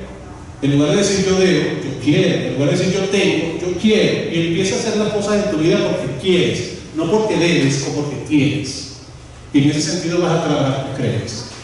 Escucha los cuantificadores universales. ¿Qué es un cuantificador universal? Tiene palabras como siempre, nunca, jamás, todos. Por ejemplo, es que todos, todos los hombres eh, lo que quieren es eh, tener sexo con. Es que, eh, qué sé yo, es que ninguna mujer puede tener un cargo importante en una empresa. Es que nadie, es nadie, todo son cuantificadores universales y en el fondo lo que hablan es de creencia. Revisa cuántos, todos, nunca, jamás, siempre dices tú en el día. Y tal vez puedas descubrir alguna creencia que te está limitando. Y por observa tus incongruencias. Las incongruencias que tenemos en nuestra vida nos hablan mucho de nuestras creencias. Alguien que le diga la familia lo más importante de la sociedad porque resulta que el amor de pareja, ¿cuántas veces te divorció? Cinco. Allá. Allá hay una incongruencia. Ahí hay algo que está raro, porque si tú me dices que no, y tú tienes cinco divorcios, algo raro hay. Entonces, esas incongruencias en nuestra vida nos hablan en el fondo de creencias que están ahí arraigadas y que al final no podemos, nos cuesta mucho eh, resolver. ¿bien? Es muy interesante. La mujer tiene derecho a lograr un cambio importante en la empresa porque nosotros somos capaces. Este, mira, este, me gustaría que tuvieras, qué sé yo, eh, tal proyecto. Ay, no puedo porque yo tengo dos niños. Ya va, ya hay incongruencia. Si tú me estás diciendo que esto es importante, entonces ¿por qué no puedes? Pues sí, revisar nuestras incongruencias. Y para resolver el tema de los arquetipos primero, descubre cuál es tu arquetipo. Los arquetipos son elementos muy interesantes. Yo no me puedo extender hoy hablando de arquetipos. Pero es muy interesante cuando nosotros logramos entender cuál es mi arquetipo, porque el arquetipo me va a decir cuál es la fuerza que más me va a guiar. Aquí yo estoy viendo muchas damas escribiendo arquetipos muy interesantes. Y cuando nosotros tenemos arquetipos equilibrados, entonces en nuestra vida vamos a ser también más equilibrados. Por ejemplo, nosotros tenemos en esta sala, en este momento, un arquetipo equilibrado muy interesante, que es nuestra señora embajadora. Nuestra señora embajadora es un arquetipo tenía muy fuerte, una gran profesional. Pero si nos cuenta lo detallista que es con su ropa y cómo está vestida y sus colores, ahí está presente el arquetipo afrodita de la mujer. Entonces, eso es muy, muy interesante. Además, de un arquetipo de mente interesante, porque hay una energía maternal muy interesante. Entonces, cuando nosotros empezamos a revisar nuestros arquetipos, podemos equilibrar nuestra vida y podemos saber cuál es la energía que primeramente va a salir. Y como los arquetipos tienen una parte negativa y una parte positiva, yo puedo meterme con mi parte positiva y puedo esa parte negativa entonces colapsar. Saber que de pronto una mujer que es demasiado demencia, demasiado madre, uno le puede decir, chica, conéctate con el arquetipo afrodita, déjate consentir, déjate creer, este, olvídate por un momento eh, de los demás y piensa en ti, que es una característica interesante del arquetipo afrodita. ¿bien? Y así podemos colapsar a esa cosa. ¿Cuál es el mensaje que les quiero dejar de cierre? Las creencias van a marcar nuestra vida, así como marcaron la vida de mi mamá. Así como hicieron que mi mamá para poder estudiar lo que ella quiso estudiar tuviera que esperar prácticamente 30 años. Pero también las creencias no te limitan. Son elementos que tengan ahí presentes. No son malas. Las creencias son horribles y terribles y nos hacen. No, no. Las creencias te han hecho vivir y necesitamos creencias para poder vivir. Pero no tienen por qué limitar. Y cuando tú eres capaz de observar como mujer tus creencias y decir, ya va, ¿cuáles de estas cosas que estoy haciendo en la actualidad las estoy haciendo realmente porque creo en eso? ¿O es porque es algo que vengo repitiendo, porque mi madre lo hicieron o porque la gente dice que es correcto? ¿Cuántas de las decisiones que yo tomo diariamente en mi vida se dan porque yo realmente las quiero tomar? ¿Y cuántas de esas decisiones se dan porque la gente dice que debería hacerlo o porque alguien me dijo que tenía que hacerlo? Porque en el fondo, cuando tú cambias una creencia, cuando tú transformas una creencia, te haces más libre, te conviertes en una persona más libre. La, la frase que en mi opinión es más maravillosa para hablar de libertad la dijo el, el gran, el gran eh, Sartre, creador del existencialismo, filósofo además, que por eso te dice, libertad es lo que tú haces con lo que te hicieron. Y esa es maravillosa. Cuando tú eres capaz de transformar tu vida independientemente de tu pasado, independientemente de las cosas que te han dejado, entonces te hace realmente una persona libre. Y eso es lo que hacemos cuando transformamos nuestras vidas. Muchas gracias.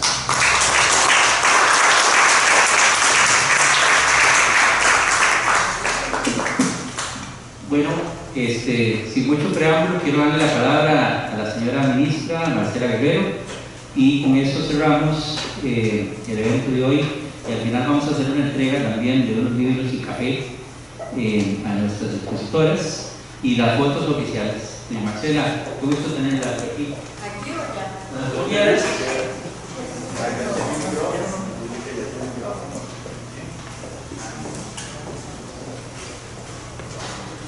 Muchísimas gracias, eh, Julio, por esta oportunidad. Quiero dar un saludo muy especial a doña Cristina, excelentísima embajadora en Costa Rica, que ha creado un espacio. Disculpe, el micrófono está apagado.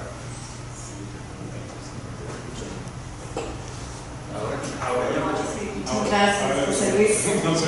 Eh, un saludo, doña Cristina.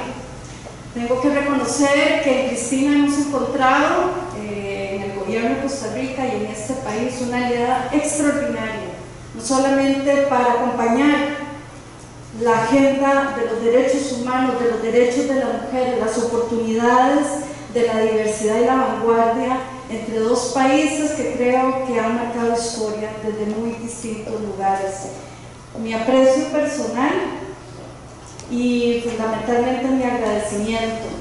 Igual eh, quiero dar un saludo muy especial a don Julio. Yo a don Julio lo conocí hace unos 5 o 6 años, cuando ya se veía como un gigante, cuando trabajaba por tutelar todos los derechos de la diversidad en este país desde el sector empresarial. Un honor eh, volvernos a encontrar y agradecer muchísimo los espacios que usted está abriendo en función de poder estar en empatía. A Natalia, a Seña, a Lenín y a José Luis también un saludo. Quiero agradecer a don Ricardo de Ramón por acogernos en este espacio.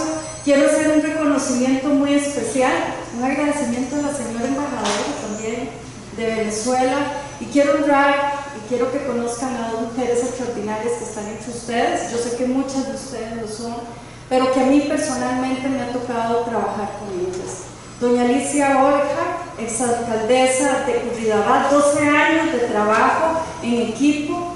Curridabat es eh, de los cantones que ha sido mucho, mm, por mucho, un modelo que mi criterio, a mí que me ha tocado trabajar con los territorios, creo que es el modelo a seguir en inclusividad, en el desarrollo de una infraestructura que contemple los derechos contra, por ejemplo, eh, el acoso eh, callejero, porque se ha preocupado de que sus espacios públicos se integren, porque se ha ocupado de una infraestructura que tiene que ver con el cuidado y compartir aquellas mujeres que le tocan eh, cuidar a adultos mayores, a personas con, con discapacidad.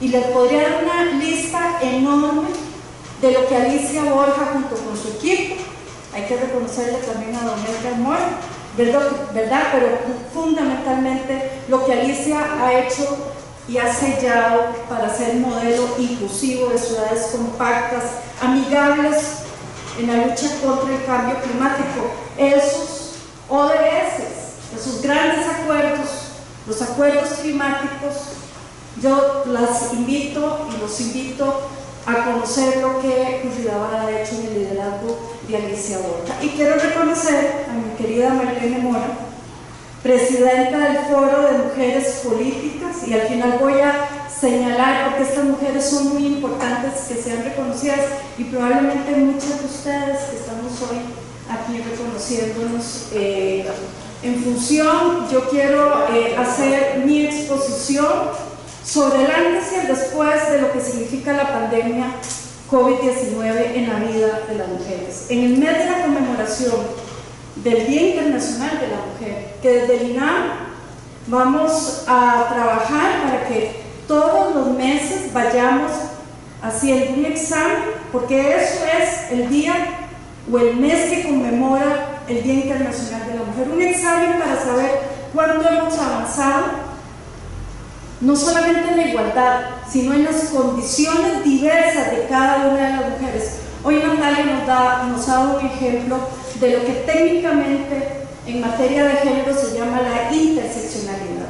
Entre más conozcamos la diversidad de sociedad que somos, entre más ubiquemos y respetemos, no solamente que existan marcos jurídicos que estos operen, sino que reconozcan que las mujeres somos diversas, en un cantón fronterizo, en un cantón rural, en un cantón costero, en el gran área metropolitana. Y que dentro de esos territorios tenemos también las mujeres diversidades y que la política pública tiene que articular entre lo nacional y local, que es en el territorio donde podemos ubicar las alianzas para acompañar, no solamente reconocer y mejorar la calidad de vida de las mujeres y de los hombres también, sino porque es desde esa interseccionalidad, como se le dice, que fortalecemos la democracia sustantiva. Costa Rica tiene una serie de marcos jurídicos a los que este año le vamos a pasar examen. Tenemos un convenio contra toda forma de eliminación y discriminación contra las mujeres. Este año pasamos examen. Y también tenemos 25 años de la plataforma de Beijing, un antes y un después, para que las mujeres, los países, sus marcos jurídicos y la fiscalización de la aplicación de estos marcos, que por cierto nos faltan algunos todavía, reconozcan a las mujeres. Pero eso no es suficiente.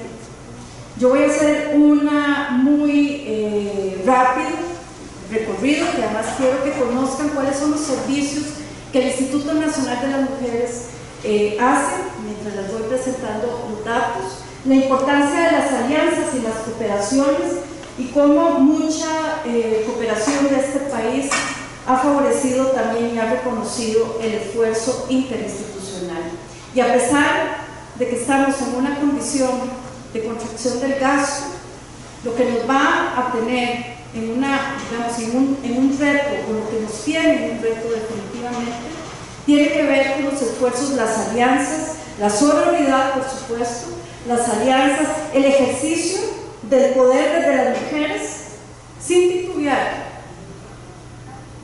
y el esfuerzo de tener un objetivo y una alianza compartida, porque en el marco del bicentenario yo me atrevería a pensar que vamos a dar algunos pasos importantes para crear las bases de la igualdad para los próximos 100 años de este país. Y eso es una discusión política que no se hace desde la institucionalidad, se hace a la par de quienes están liderando como el Foro Político de Mujeres y como muchas organizaciones de mujeres y feministas. No le tengamos miedo al término feminista. Hay una rama importante de feminismo, si tiene que ver con la reivindicación de las mujeres en el espacio político y público. Tal vez si me ayudan, eh, muchas gracias. Yo muy rápidamente quiero decir, estos son datos preliminares y los van a entender al final de la presentación porque tiene que ver no solo con los servicios del INAMO, sino la cantidad de mujeres que durante el 2020 recurrieron a nuestra institución, no solo para pedir lo que diríamos, algunas orientaciones, porque el INAMO da acompañamiento psicológico, da acompañamiento desde el trabajo social, da acompañamiento desde lo legal, orienta a esas mujeres que muchas veces están o estuvieron desorientadas en una condición de mucha incertidumbre durante el 2020.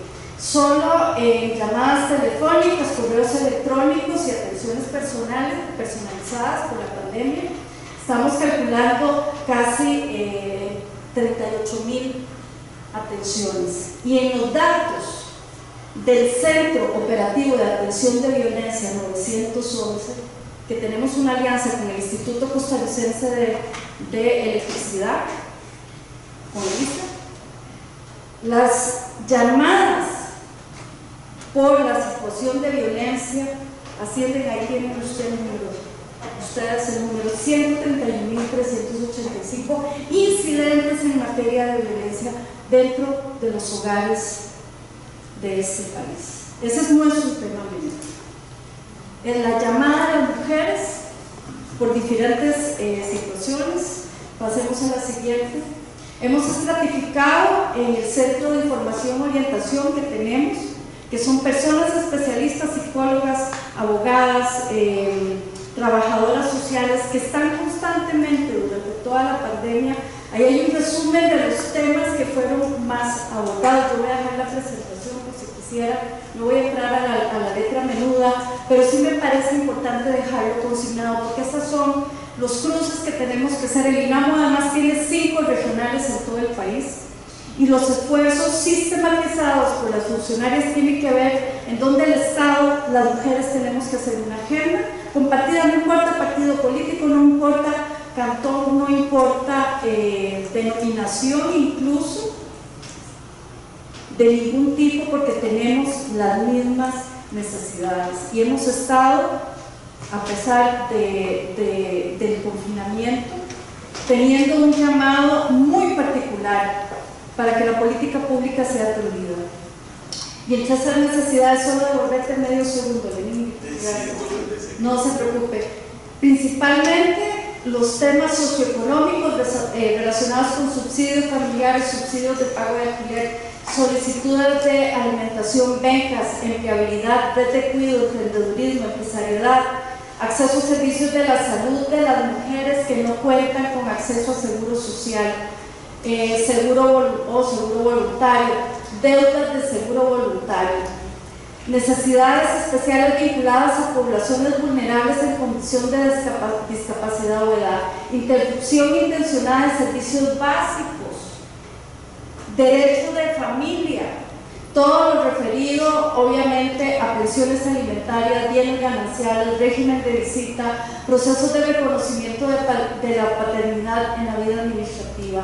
En materia laboral, la agenda es compleja porque sobre todo tiene que ver con los derechos básicos que se supone el Estado costarricense tiene que tutelar, es decir, trabajadoras embarazadas, hostigamiento laboral, hostigamiento sexual, pérdida de contrato laboral y hay otros temas que están relacionados en menor grado, pero que tienen que ver con eh, la relación incluso de apoyo psicológico, conflictos vecinales.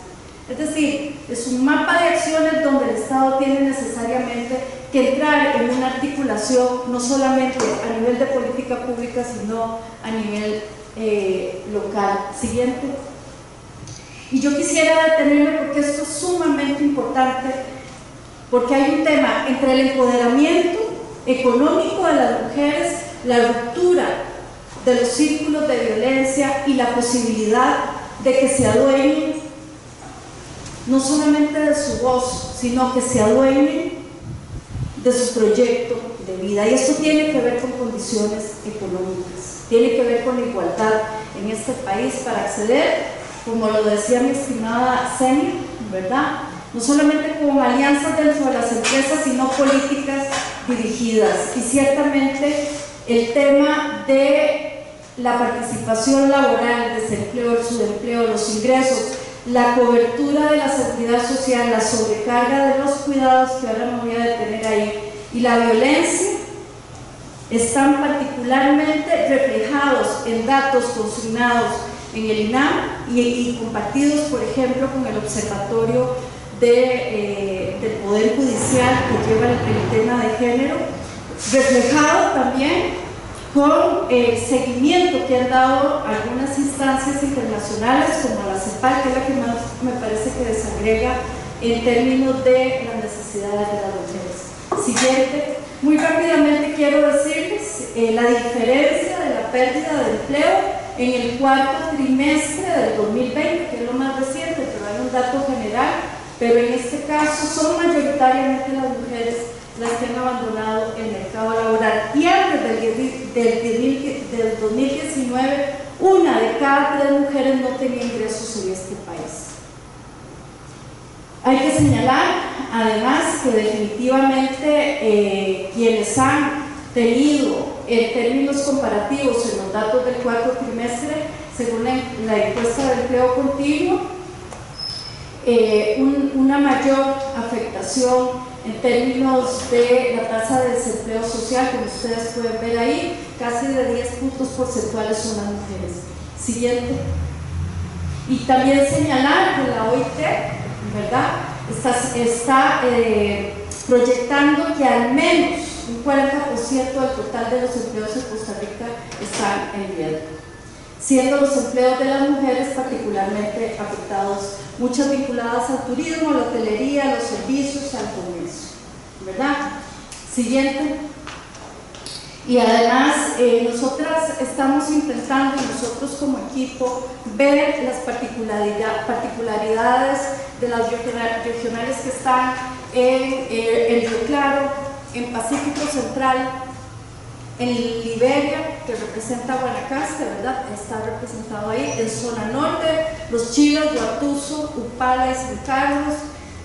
Todo lo que tiene que ver con Cantón Central de Limón, que ve a toda la provincia de Limón. Seis de los cantones donde el tejido empresarial es el más bajo de todo el país y donde es ahí que yo diría que tenemos cuatro paradigmas a los que tenemos que sacar una gran oportunidad en esto que se nos ha presentado como una crisis. ¿verdad? Está el paradigma del cambio climático, el paradigma de los cambios de los mercados laborales por el tema tecnológico, que también ha sido visibilizado en esta pandemia.